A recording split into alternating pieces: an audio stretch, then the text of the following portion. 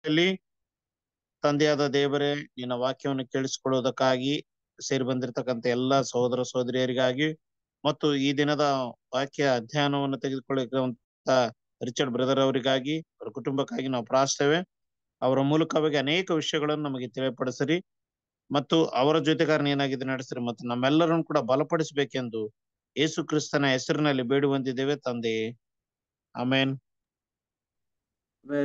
Thank you. Okay ಕ್ರಿಸ್ತನಲ್ಲಿ ಪ್ರೀತಿಯ ಸಹೋದರ ಸಹೋದರಿಯರೇ, ನಿಮ್ಮೆಲ್ಲರಿಗೂ ತಂದೆಯಾದ ದೇವರಿಂದಲೂ ಕರ್ತನಾದ ಯೇಸು ಕ್ರಿಸ್ತನ ಮೂಲಕ ಕೃಪೆಯು ಶಾಂತಿಯು ಉಂಟಾಗಲಿ.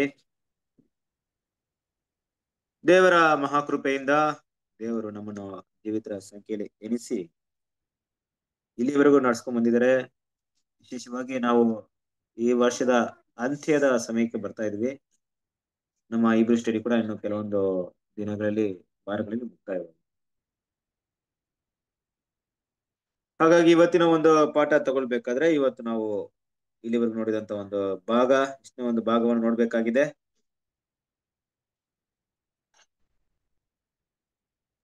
ಸೆವೆಂಟಿ ತ್ರೀ ಸೆವೆಂಟಿ ತ್ರೀ ಅಂದ್ರೆ ಯಾವ ಅಧ್ಯಾಯ ಯಾವ ಭಾಗ?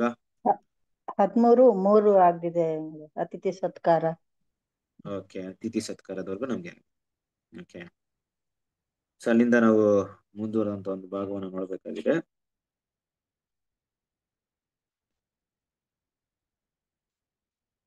ಕಾಣಿಸ್ತಾ ಇದೆಯಾ ಸ್ಕ್ರೀನ್ ನಿಮ್ಗೆ ಎಲ್ರಿಗೂ? ಸ್ಕ್ರೀನ್ ಕಾಣಿಸ್ತಾ ಇದೆಯಾ? ಕಾಣಿಸ್ತಿದೆ ಬ್ರದರ್. ಓಕೆ ಕ್ರಿಸ್ತನಲ್ಲಿ ಪ್ರೀತಿಯ ಸಹೋದರ ನಾವು ಹಿಂದಿನ ಒಂದು ಪಾಠದಲ್ಲಿ ಅತಿಥಿ ಸತ್ಕಾರಕ್ಕೆ ಸಂಬಂಧಪಟ್ಟಂತ ಹಲವಾರು ವಿಷಯವನ್ನ ನೋಡಿದ್ವಿ. ನಿಮ್ಗೆ ಅದು ಆದಷ್ಟು ವಿಷಯಗಳು ಅರ್ಥವಾಗಿರ್ಬೋದು. ಕೆಲವೊಂದು ಪಾಯಿಂಟ್ ಅದರಲ್ಲಿ ಇನ್ನು ಕೂಡ ನೋಡ್ಬೇಕಾಗಿತ್ತು. ಆದ್ರೆ ಜಾಸ್ತಿ ಟೈಮ್ ಅದ್ರಲ್ಲಿ ತಗೊಳ್ಳಲ್ಲ ಮುಖ್ಯವಾಗಿ ಕೆಲವೊಂದು ಪಾಯಿಂಟ್ ಏನ್ ಮಾಡೋಣ? ನಾವು ಸ್ಟಡಿ ಮಾಡೋಣ. ಅತಿಥಿ ಸತ್ಕಾರ ಮಾಡುವುದನ್ನು ಮರೆಯಬೇಡ್ರಿ. ಅದನ್ನು ಮಾಡುವುದರಲ್ಲಿ ಕೆಲವರು ತಿಳಿಯದ ದೇವದೂತರನ್ನು ಸತ್ಕರಿಸಿದ್ದಾರೆ. ಹಾಗಾಗಿ ಯಾವ ರೀತಿ ಒಂದು ಅತಿಥಿ ಸತ್ಕಾರವನ್ನ ಮಾಡಬೇಕು ಅನ್ನೋ ವಿಷಯವನ್ನು ಕೂಡ ನಾವು ಲಾಸ್ಟ್ ಟೈಮ್ ನೋಡಿದ್ವಿ. ಅದು ಮಾತ್ರವಲ್ಲ, ದೇವರ ಮಕ್ಕಳು, ಅವರು ಕೆಲವರು ತಿಳಿಯದ ದೇವದೂತರನ್ನು ಸತ್ಕರಿಸಿದ್ದಾರೆ ಅನ್ನೋ ವಿಷಯ ಯಾರ ಬಗ್ಗೆ ಮಾತಾಡ್ತಿದ್ದಾರೆ ಅಂದ್ರೆ, ನಮ್ಮ ಅಪೋಸ್ತಲ ಸಾರಿ ನಮ್ಮ ಅಬ್ರಾಮ್ ಬಗ್ಗೆ ಮಾತಾಡುವಂತ ವಿಷಯವನ್ನು ಕೂಡ ನಾವು ನೋಡ್ತೀವಿ. ಒಂದ್ ಕಡೆ ಇದೆಲ್ಲ ವಿಷಯವನ್ನ ನಾವು ಸ್ಟಡಿ ಮಾಡಿದಾಗ, ಇನ್ನೊಂದು ರೀತಿಯಲ್ಲಿ ಇನ್ನೊಂದು ಪಾಯಿಂಟ್ ಕೂಡ ಸ್ಟಡಿ ಮಾಡ್ಬೇಕು ಅಂದ್ರೆ ಅತಿಥಿ ಸತ್ಕಾರ ಮಾಡ್ಬೇಕಾದ್ರೆ, ಕೆಲವೊಂದು ಟೈಮಲ್ಲಿ ಆ, ಇವಾಗ ನಮ್ಮ ದೇವ್ರ ಮಕ್ಕಳಲ್ಲಿ ಆ ರೀತಿ ಯಾರು ಇರಲ್ಲ. ಸಾಮಾನ್ಯವಾಗಿ ಹೇಗಿರುತ್ತೆ ಅಂದ್ರೆ ಒಂದು ಆ, ಈ ಪಕ್ಷಪಾತದಲ್ಲಿ ಕೆಲವೊಂದು ಅತಿಥಿ ಸತ್ಕಾರ ಮಾಡೋದನ್ನ ನೋಡ್ಬೋದು. ಅಂದ್ರೆ ಕೆಲವರಿಗೆ ಬಂದ್ರೆ ತುಂಬಾ ವಿಶೇಷ ಗಮನ ಕೊಡೋದು ಇನ್ ಕೆಲವರನ್ನ ತುಂಬಾ ನೆಗ್ಲಿಜೆನ್ಸಿ ಮಾಡೋದು. ಈ ತರ ದೇವ್ರ ಮಕ್ಕಳು ಮಾಡಲ್ಲ ಸಾಮಾನ್ಯವಾಗಿ, ಅಲ್ವಾ? ಬಟ್ ಇದ್ರು ಕೂಡ ನಾವು ಆ ಪಾಯಿಂಟ್ನ ಸ್ವಲ್ಪ ಸ್ಟಡಿ ಇದನ್ನ ನಾವ್ ಎಲ್ಲಿ ನೋಡ್ಬೋದಂದ್ರೆ ಯೇಸು ಕ್ರಿಸ್ತನ ಒಂದು ಜೀವಿತಾವಧಿಯಲ್ಲಿ ಸೀಮೋನ್ ಬಗ್ಗೆ ತಗೊಂಡಾಗ ಸೀಮೋನ್ ಏನ್ ಮಾಡ್ತಾರೆ ಅಂದ್ರೆ ಯೇಸು ಕ್ರಿಸ್ತನ್ ಬರ್ಬೇಕಾದ್ರೆ ಅವ್ರಿಗೆ ಏನ್ ಮಾಡಲ್ಲ, ಅತಿಥಿ ಸತ್ಕರಣ ಸರಿಯಾಗಿ ಮಾಡಿರಲ್ಲ ಅವರು. ಅವ್ರು ಏನ್ ಮಾಡ್ತಾರೆ ಅಂದ್ರೆ ಅವ್ರಿಗೆ ಬೇಕಾದಂತ ಕಾಲ್ ತೊಳಿಯಕ್ಕೆ ನೀರ್ ಕೊಟ್ಟಿರಲ್ಲ ಮತ್ತೆ ಅವ್ರಿಗೆ ಏನೋ ಒಬ್ಬ ಯಹೂದರ ಕಲೆಯಾಚರ ಪ್ರಕಾರ ಏನ್ ಮಾಡ್ತಾರೋ ಅದನ್ನ ಮಾಡಿರಲ್ಲ. ಯಾಕೆ ಆ ರೀತಿ ಮಾಡಿರಲ್ಲ ಅಂದ್ರೆ, ಉದ್ದೇಶ ಇಷ್ಟೇ ಏಸ್ ಕ್ರಿಸ್ತನೇನು ದೊಡ್ಡ ವ್ಯಕ್ತಿ ಅಲ್ಲ ಅನ್ನೋ ರೀತಿಯಲ್ಲಿ ಅವರ ಭಾವನೆ ಇತ್ತು. ಅವ್ರಿಗೆ ನಾವು ಅಷ್ಟು ದೊಡ್ಡ ಉಪಕಾರ ಮಾಡೋ, ಅಷ್ಟು ದೊಡ್ಡ ಅತಿಥಿ ಸತ್ಕಾರ ಮಾಡಿ ನಮ್ಮ ಮನೆಗೆ ಸ್ವಾಗತ ಮಾಡೋಷ್ಟು ಅವರೇನೋ ದೊಡ್ಡ ವ್ಯಕ್ತಿನ? ಅವ್ರೊಬ್ಬ ಸಾಧಾರಣ ಒಬ್ಬ ಬೋಧಕರಲ್ವಾ ಬರ್ಲಿ, ಬಂದ್ ಏನ್ ಮಾತಾಡ ಮಾತಾಡೋಗ್ಲಿ ಅಂತ ವಿಷಯ ಆಯ್ತು. ಅದೇ ಸಮಯದಲ್ಲಿ ಕೂಡ ಒಬ್ಬ ಸ್ತ್ರೀ ಬಂದ್ ಏನ್ ಮಾಡ್ತಾರೆ, ತನ್ನ ಒಂದು ತೈಲವನ್ನ ತಗೊಂಡು ಯೇಸುಕ್ರಿಸ್ತನ ಕಾಲದಲ್ಲಿ, ಕಾಲಲ್ಲಿ ಚೆಲ್ಲಿ ಅದನ್ನ ತನ್ನ ತಲೆ ಕೂದಿಂದ ಒರೆಸ್ಬೇಕಾದ್ರೆ ಯೇಸುಕ್ರಿಸ್ತನ ಇದೇ ವಿಷಯವನ್ನ ಮಾತಾಡ್ತಾರೆ. ಅಂದ್ರೆ ನಾನ್ ಬಂದಾಗ ನೀನ್ ನನ್ಗೆ ಏನು ಮಾಡಿಲ್ಲ? ಅಂದ್ರೆ ನೀನ್ ಮಾಡ್ಬೇಕಾದಂತ ಒಂದು ವಿಷಯವನ್ನೇ ಮಾಡಿಲ್ಲ. ಒಬ್ಬ ಯಹೂದ್ಯನಾಗಿ, ಯಹೂದ್ಯರಿಗೆ ಮಾಡ್ಬೇಕಂತ ವಾಡಿಕೆ ಪ್ರಕಾರ ಇದ್ದಂತ ಒಂದು ಅತಿಥಿ ಸತ್ಕಾರವನ್ನೇ ನೀನ್ ಸರಿಯಾಗಿ ಮಾಡಿಲ್ಲ. ಆದ್ರೆ ಆ ಸ್ತ್ರೀ ಏನೆಲ್ಲ ಮಾಡಿದ್ದಾರೆ? ಅದೇ ರೀತಿಯಾಗಿ ದೇವ್ರ ಮಕ್ಳು ಇವತ್ತು ಅರ್ಥ ಮಾಡ್ಕೋಬೇಕಾಗಿರೋ ವಿಷಯ ಏನಪ್ಪಾ ಅಂದ್ರೆ ದೇವ್ರ ಮಕ್ಕಳ ಮಧ್ಯದಲ್ಲಿ ನಾವು ನಮ್ಮ ಕೈಯಲ್ಲಿ ಏನಾಗುತ್ತೋ, ದೇವರ ಶಿಷ್ಯನೆಂಬ ಹೆಸರು ನಿಮಿತ್ತ ಒಂದು ಗ್ಲಾಸ್ ನೀರ್ ಕೊಟ್ರು, ಓಕೆ. ಆದ್ರೆ ಅದು ಯಾವ ರೀತಿ ಇರ್ಬಾರ್ದು ಅಂದ್ರೆ ಒಂದು ಪಕ್ಷಪಾತದ ಅಡಿಯಲ್ಲಿ ಇರ್ಬಾರ್ದು. ಅಂದ್ರೆ ನಾವು ನಮ್ ಕೈಯಲ್ಲಿ ಏನಾಗುತ್ತೋ, ದೇವ್ರ ಮಕ್ಳಿಗೆ ನಾವು ಮಾಡೋದು, ಯಾರು ಕೂಡ ನಮ್ನ ಬಲವಂತವಾಗಿ ಮಾಡ್ಲೇಬೇಕಂತ ಪ್ರೇರಣೆ ಮಾಡೋಂಥದ್ದು ದೇವರ ಮಕ್ಕಳ ಮಧ್ಯದಲ್ಲಿ ಇಲ್ಲ ಅಂದ್ರೆ ಸತ್ಯವೇದ ವಿದ್ಯಾರ್ಥಿಗಳ ಮಧ್ಯದಲ್ಲಿ ಇಲ್ಲ ಅವ್ರವ್ರ ಮನಸ್ಸಿಗೆ ಬಂದಿದ್ದು ಅವ್ರೇನ್ ಮಾಡ್ಕೊಂಡು ಹೋಗ್ತಾರೆ? ಆದ್ರೆ ಈಗ ನಾನ್ ಮಾಡಿದಂತ ವಿಷಯ ದೇವರ ದೃಷ್ಟಿಯಲ್ಲಿ ಹೇಗಿತ್ತು ಅನ್ನೋಂತ ರೀತಿ ಅಂದ್ರೆ ಒಬ್ರು ಬಂದಾಗ ಅವ್ರಿಗೆ ತುಂಬಾ ವಿಶೇಷ ಗಮನ ಕೊಡೋದು ಅಲ್ವಾ? ಅವನು ತುಂಬಾ ದೊಡ್ಡ ಒಂದು ದೊಡ್ಡ ಸ್ಥಿತಿನ ಗಮನಿಸೋದು. ಇನ್ನೊಬ್ರು ಬಂದಾಗ ಅವರ ಏನೋ ಕೆಲವರು ಅಲ್ವಾ? ಅವರು ಒಂದ್ ವೇಳೆ ಬಡವರಾಗಿದ್ರೆ ಅಂದ್ಬಿಟ್ಟು ಇಲ್ಲ ಬೇರೆ ರೀತಿಯಲ್ಲಿ ಅವ್ರನ್ನ ಮಾಡೋದ್ ಟ್ರೀಟೇ ಬೇರೆ ತರ ಇರುತ್ತೆ. ಇದು ದೇವ್ರ ಮಕ್ಳು ಮಾಡಕ್ ಹೋಗ್ಬಾರ್ದು ಅಲ್ವಾ? ಸೊ ದೇವ್ರ ಮಕ್ಳು ಬಂದಾಗ ನಮ್ಮಲ್ಲಿ ಅದಷ್ಟು ಇರ್ಲಿ, ಇದ್ರು ಕೂಡ, ಆ, ಸರಿ ಸಮಾನದ ರೀತಿಯಲ್ಲಿ ನೋಡುವಂತ ವಿಷಯನ ದೇವ್ರ ಏನ್ ಮಾಡ್ತಾರೆ, ಮೀಸ್ತಾರೆ, ಅಂದ್ರೆ ದೇವ್ರ ಮಕ್ಕಳು ಅನ್ನೋಂತ ವಿಷಯದಲ್ಲಿ ನಾವು ಗಮನ ತೋರಿಸೋದು. ಇಲ್ಲಿ ಕೂಡ ಒಂದು ಪಾಠ ಸೊ ಇದನ್ನ, ಇದಷ್ಟೇ ವಿಷಯ, ಜಾಸ್ತಿ ಇದ್ರ ಬಗ್ಗೆ ನೋಡುವಂತ ಅವಶ್ಯಕತೆ ಇಲ್ಲ. ಹಾಗೆ ಮುಂದುವರ್ಸ್ಕೊಂಡು ಏನ್ ಮಾಡೋದು ನೆಕ್ಸ್ಟ್ ಟಾಪಿಕ್ ನಾವು ಮುಖ್ಯವಾಗಿ ಬರ್, ನೋಡ್ಬೇಕಾದ್ರೆ ಈಗ ನಾವು ನೋಡ್ತಿರುವಂತ ಒಂದು ಭಾಗ ಇಬ್ರಿದವರಿಗೆ ಬರೆದ ಪತ್ರಿಕೆಯಲ್ಲಿ, ಆ, ಹದಿಮೂರನೇ ಅಧ್ಯಾಯ ಮೂರನೇ ವಾಕ್ಯವನ್ನ ನಾವು ಓದೋಣ. ಇಬ್ರಿದವರಿಗೆ ಹದಿಮೂರನೇ ಅಧ್ಯಾಯ ಮೂರನೇ ವಾಕ್ಯ.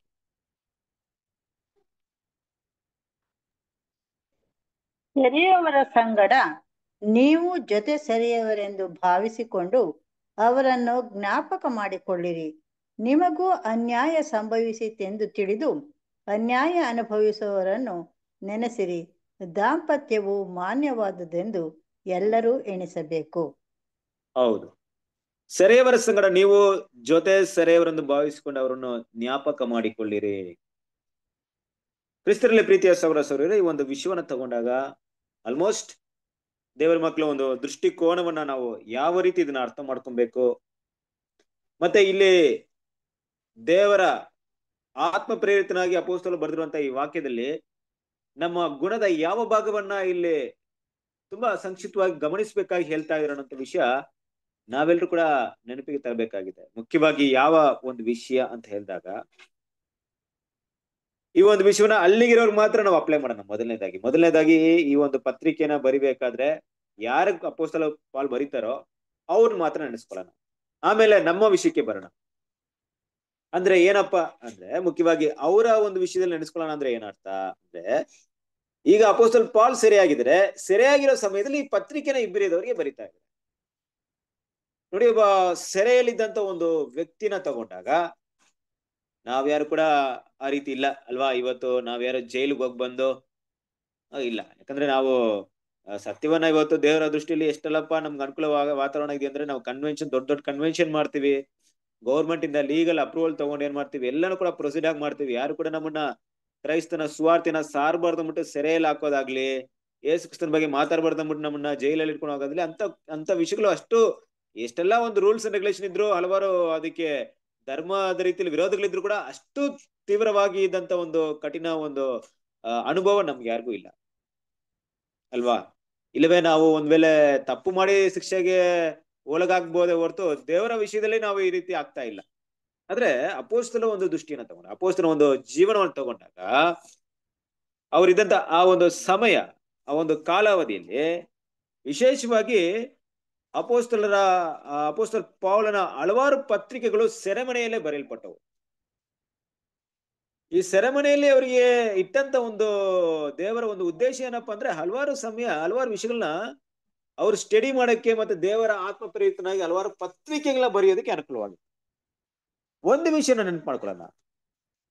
ಅಲ್ಲಿ ಸೆರೆಮನೆಯಲ್ಲಿ ಇರ್ಬೇಕಾದ್ರೆ, ಈಗ ಇವರಿಗೆ ಈ ಪತ್ರಿಕೆನೆಲ್ಲ ಬರೆದು ಅದನ್ನ ತಲುಪಿಸ್ಬೇಕಾದ್ರೆ ಅದನ್ನ ಓದಿ ಏನ್ ಮಾಡ್ತಿದ್ರು? ಅವ್ರು ಅರ್ಥ ಮಾಡ್ಕೊಳ್ತಾ ಇದ್ರು. ಆದ್ರೆ ಇಷ್ಟು ಒಂದು ದೇವರ ಆತ್ಮ ಪ್ರೇರಿತವಾದಂತ ವಾಕ್ಯವನ್ನ ಕೊಡುವಂತ ವ್ಯಕ್ತಿ ಸುಖಭೋಗವಾಗ್ಲಿ, ಒಳ್ಳೆ ಒಂದು ಆರಾಮ ಜೀವನವಾಗ್ಲಿ, ಇಲ್ಲ ಸಾಮಾನ್ಯ ಒಂದು ಜೀವನದಲ್ಲೂ ಕೂಡ ಇಲ್ಲ ಅವರು.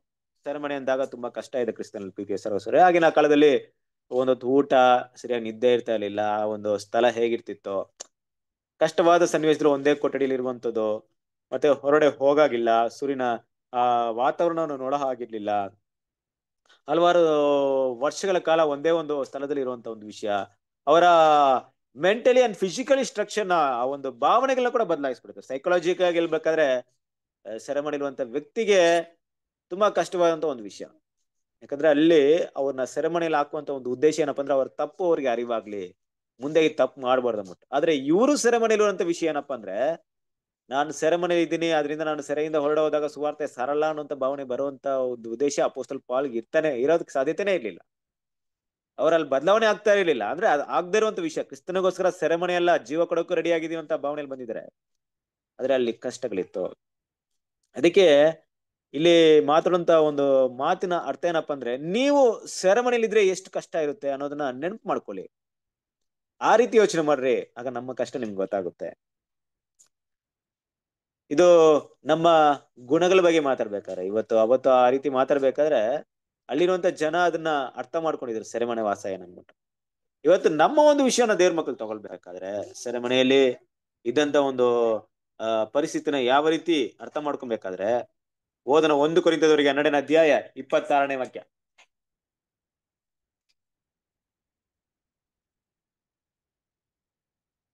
ಒಂದು ಕುರಿತ ಹನ್ನೆರಡನೇ ಅಧ್ಯಾಯ ಇಪ್ಪತ್ತಾರು, ಇಪ್ಪತ್ತಾರನೇ ವಾಕ್ಯ. ಒಂದು ಅಂಗಕ್ಕೆ ನೋವಾದರೆ ಎಲ್ಲ ಅಂಗಗಳಿಗೂ ನೋವಾಗುತ್ತದೆ. ಒಂದು ಅಂಗಕ್ಕೆ ಮರ್ಯಾದೆ ಬಂದರೆ ಎಲ್ಲ ಅಂಗಗಳಿಗೂ ಸಂತೋಷವಾಗುತ್ತದೆ. ಹೌದು, ಕ್ರಿಸ್ತನಲ್ಲಿ ಪ್ರೀತಿ. ಸೌರ ಸೌರ್ಯರು ಇವತ್ತು ದೇವರ ಮಕ್ಕಳು, ನಾವು ಈ ಒಂದು ಮಾತನ್ನ ಹಲವಾರು ಬಾರಿ ಓದಿದೀವಿ ಅಲ್ವಾ? ನಮ್ಮೆಲ್ಲರೂ ಗೊತ್ತಿದೆ, ನಮ್ಮ ಸಬ್ಜೆಕ್ಟ್ ಅಲ್ಲಿ, ನಮ್ಮ ಇಂಗ್ಲಿಷ್ದಲ್ಲಿ ಸ್ಪೀಕರ್ ಮಾತಾಡೋರು ಕೂಡ ಇದನ್ನ ತುಂಬಾ ಟಚ್ ಮಾಡಿದೆ ಅಂದ್ರೆ ಕ್ರಿಸ್ತನ ಶರೀರದ ಅಂಗಗಳ ಬಗ್ಗೆ ಮಾತಾಡ್ಬೇಕಾದ್ರೆ ಶರೀರದಲ್ಲಿ ಹಲವಾರು ಅಂಗಗಳಿವೆ. ಒಂದು ಅಂಗಕ್ಕೆ ಗಾಯವಾದ್ರೆ ಇನ್ನೊಂದು ಅಂಗ ಅದನ್ನು ನೋಡಿ ಸುಮ್ಮನೆ ಇರುತ್ತಾ? ಏನಾದ್ರೂ ಮಾಡುತ್ತೆ ಅಲ್ವಾ ತನ್ನ ದೇಹಕ್ಕೆ? ಒಂದ್ ಕೈಯಲ್ಲಿ ಏನಾದ್ರೂ ನಮ್ಗೆ ಗಾಯವಾಯ್ತು? ಎಷ್ಟು ಡಿಫ ಡಿಫಿಕಲ್ಟ್ ಆಗುತ್ತೆ? ನಮ್ಮ ಮನಸ್ಸಿಗೆ ಎಷ್ಟು ಕಷ್ಟವಾಗುತ್ತೆ? ನಮ್ಮ ಶರೀರಕ್ಕೆಲ್ಲ ಎಷ್ಟು ಕಷ್ಟವಾಗುತ್ತೆ ಅಲ್ವಾ? ಆ ರೀತಿ ಇದು ಸಭೆಯ ಗುಣ. ನೋಡ್ರಿ, ಈ ಸಭೆಯ ಗುಣ ಏನಪ್ಪಾ ಅಂದ್ರೆ, ಇಲ್ಲಿ ಮಾತಾಡುವಂತ ಒಂದು ವಿಷಯದ ಅರ್ಥವನ್ನ ತಿಳ್ಕೊಳಕ್ ಪ್ರಯತ್ನ ಪಡೋಣ. ಈ ರೀತಿನೇ ನೀವು ತೋರ್ಸ್ಬೇಕಂತ ಅಲ್ಲ. ಬದಲಾಗಿ ಯಾರು ಈ ರೀತಿ ತೋರಿಸ್ತಾರೋ ಅವ್ರು ಸಭೆಯಾಗಿರ್ತಾರೆ ಅಂತ ಅರ್ಥ. ನಾವು ತೋರಿಸ್ಬೇಕಂದ್ರೆ ನಮ್ಗೆ ಬಲವಂತ ಇಲ್ಲ. ಯಾರು ಬೇಕಾ ತೋರಿಸ್ಬೋದು. ಯಾರು ತೋರಿಸ್ತಾರ ಅವರೇ ಸಭೆ. ಯಾರು ತೋರಿಸಲ್ವೋ ಆ ಸಭೆ ಆಗಿರೋಕೆ ಸಾಧ್ಯತೆ.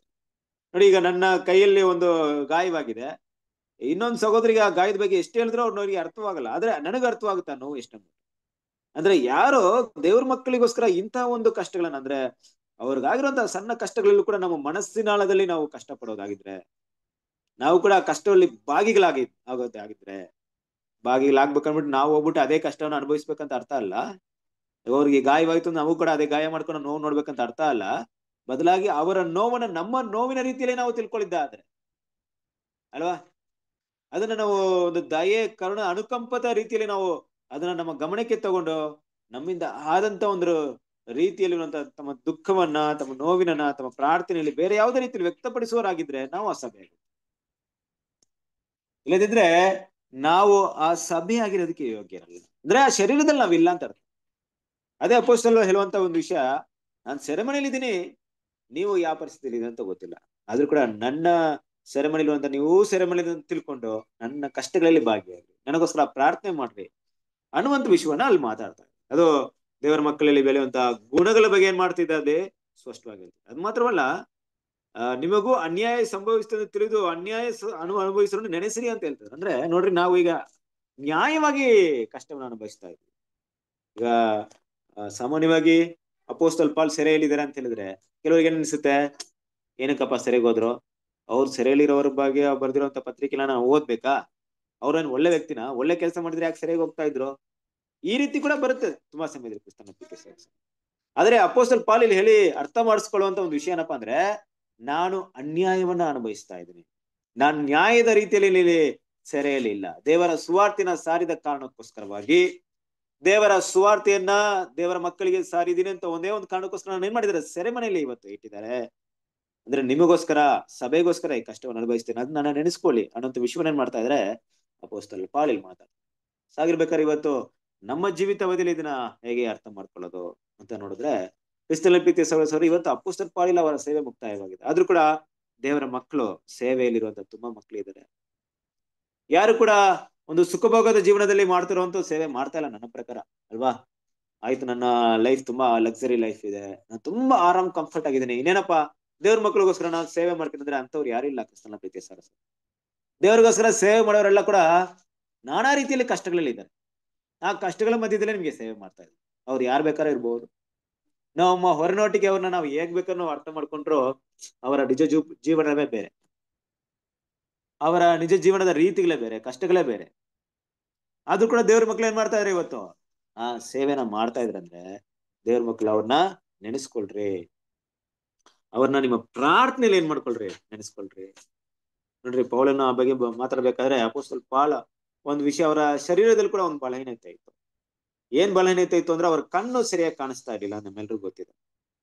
ಅದು ಕೂಡ ಏನ್ ಮಾಡ್ತಿದ್ರು? ಕೆಲವೊಂದು ಟೈಮಲ್ಲಿ ಆ ಒಂದು ಪತ್ರಗಳನ್ನ ಬರೆಯೋದಕ್ಕೆ ಬೇರೆಯವ್ರ ಸಹಾಯ ಪಡಿತಾ ಇದ್ರು ಅಪೋಸ್ತಲ್ ಪಾಲ್. ಈಗ ತೀಮತೆ ಇದ್ರೆ ತೀಮತೆ ಅಂತ ಬರ್ಸ್ಕೊಳ್ತಾ ಇದ್ರು. ಬೇರೆಯವರಿದ್ದಾಗ ಬೇರೆ ಒಂದು ಸಹೋದರ ಜೊತೆ ಏನ್ ಮಾಡ್ತಿದ್ರು ಅದನ್ನ? ಪತ್ರಗಳನ್ನ ಬರ್ಸ್ಕೊಳ್ತಾ ಇದ್ರು.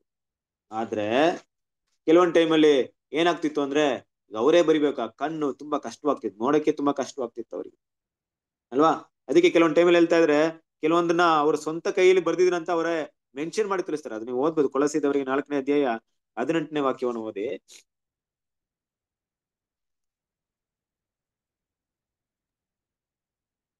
ಇದು ಪೌಲನೆಂಬ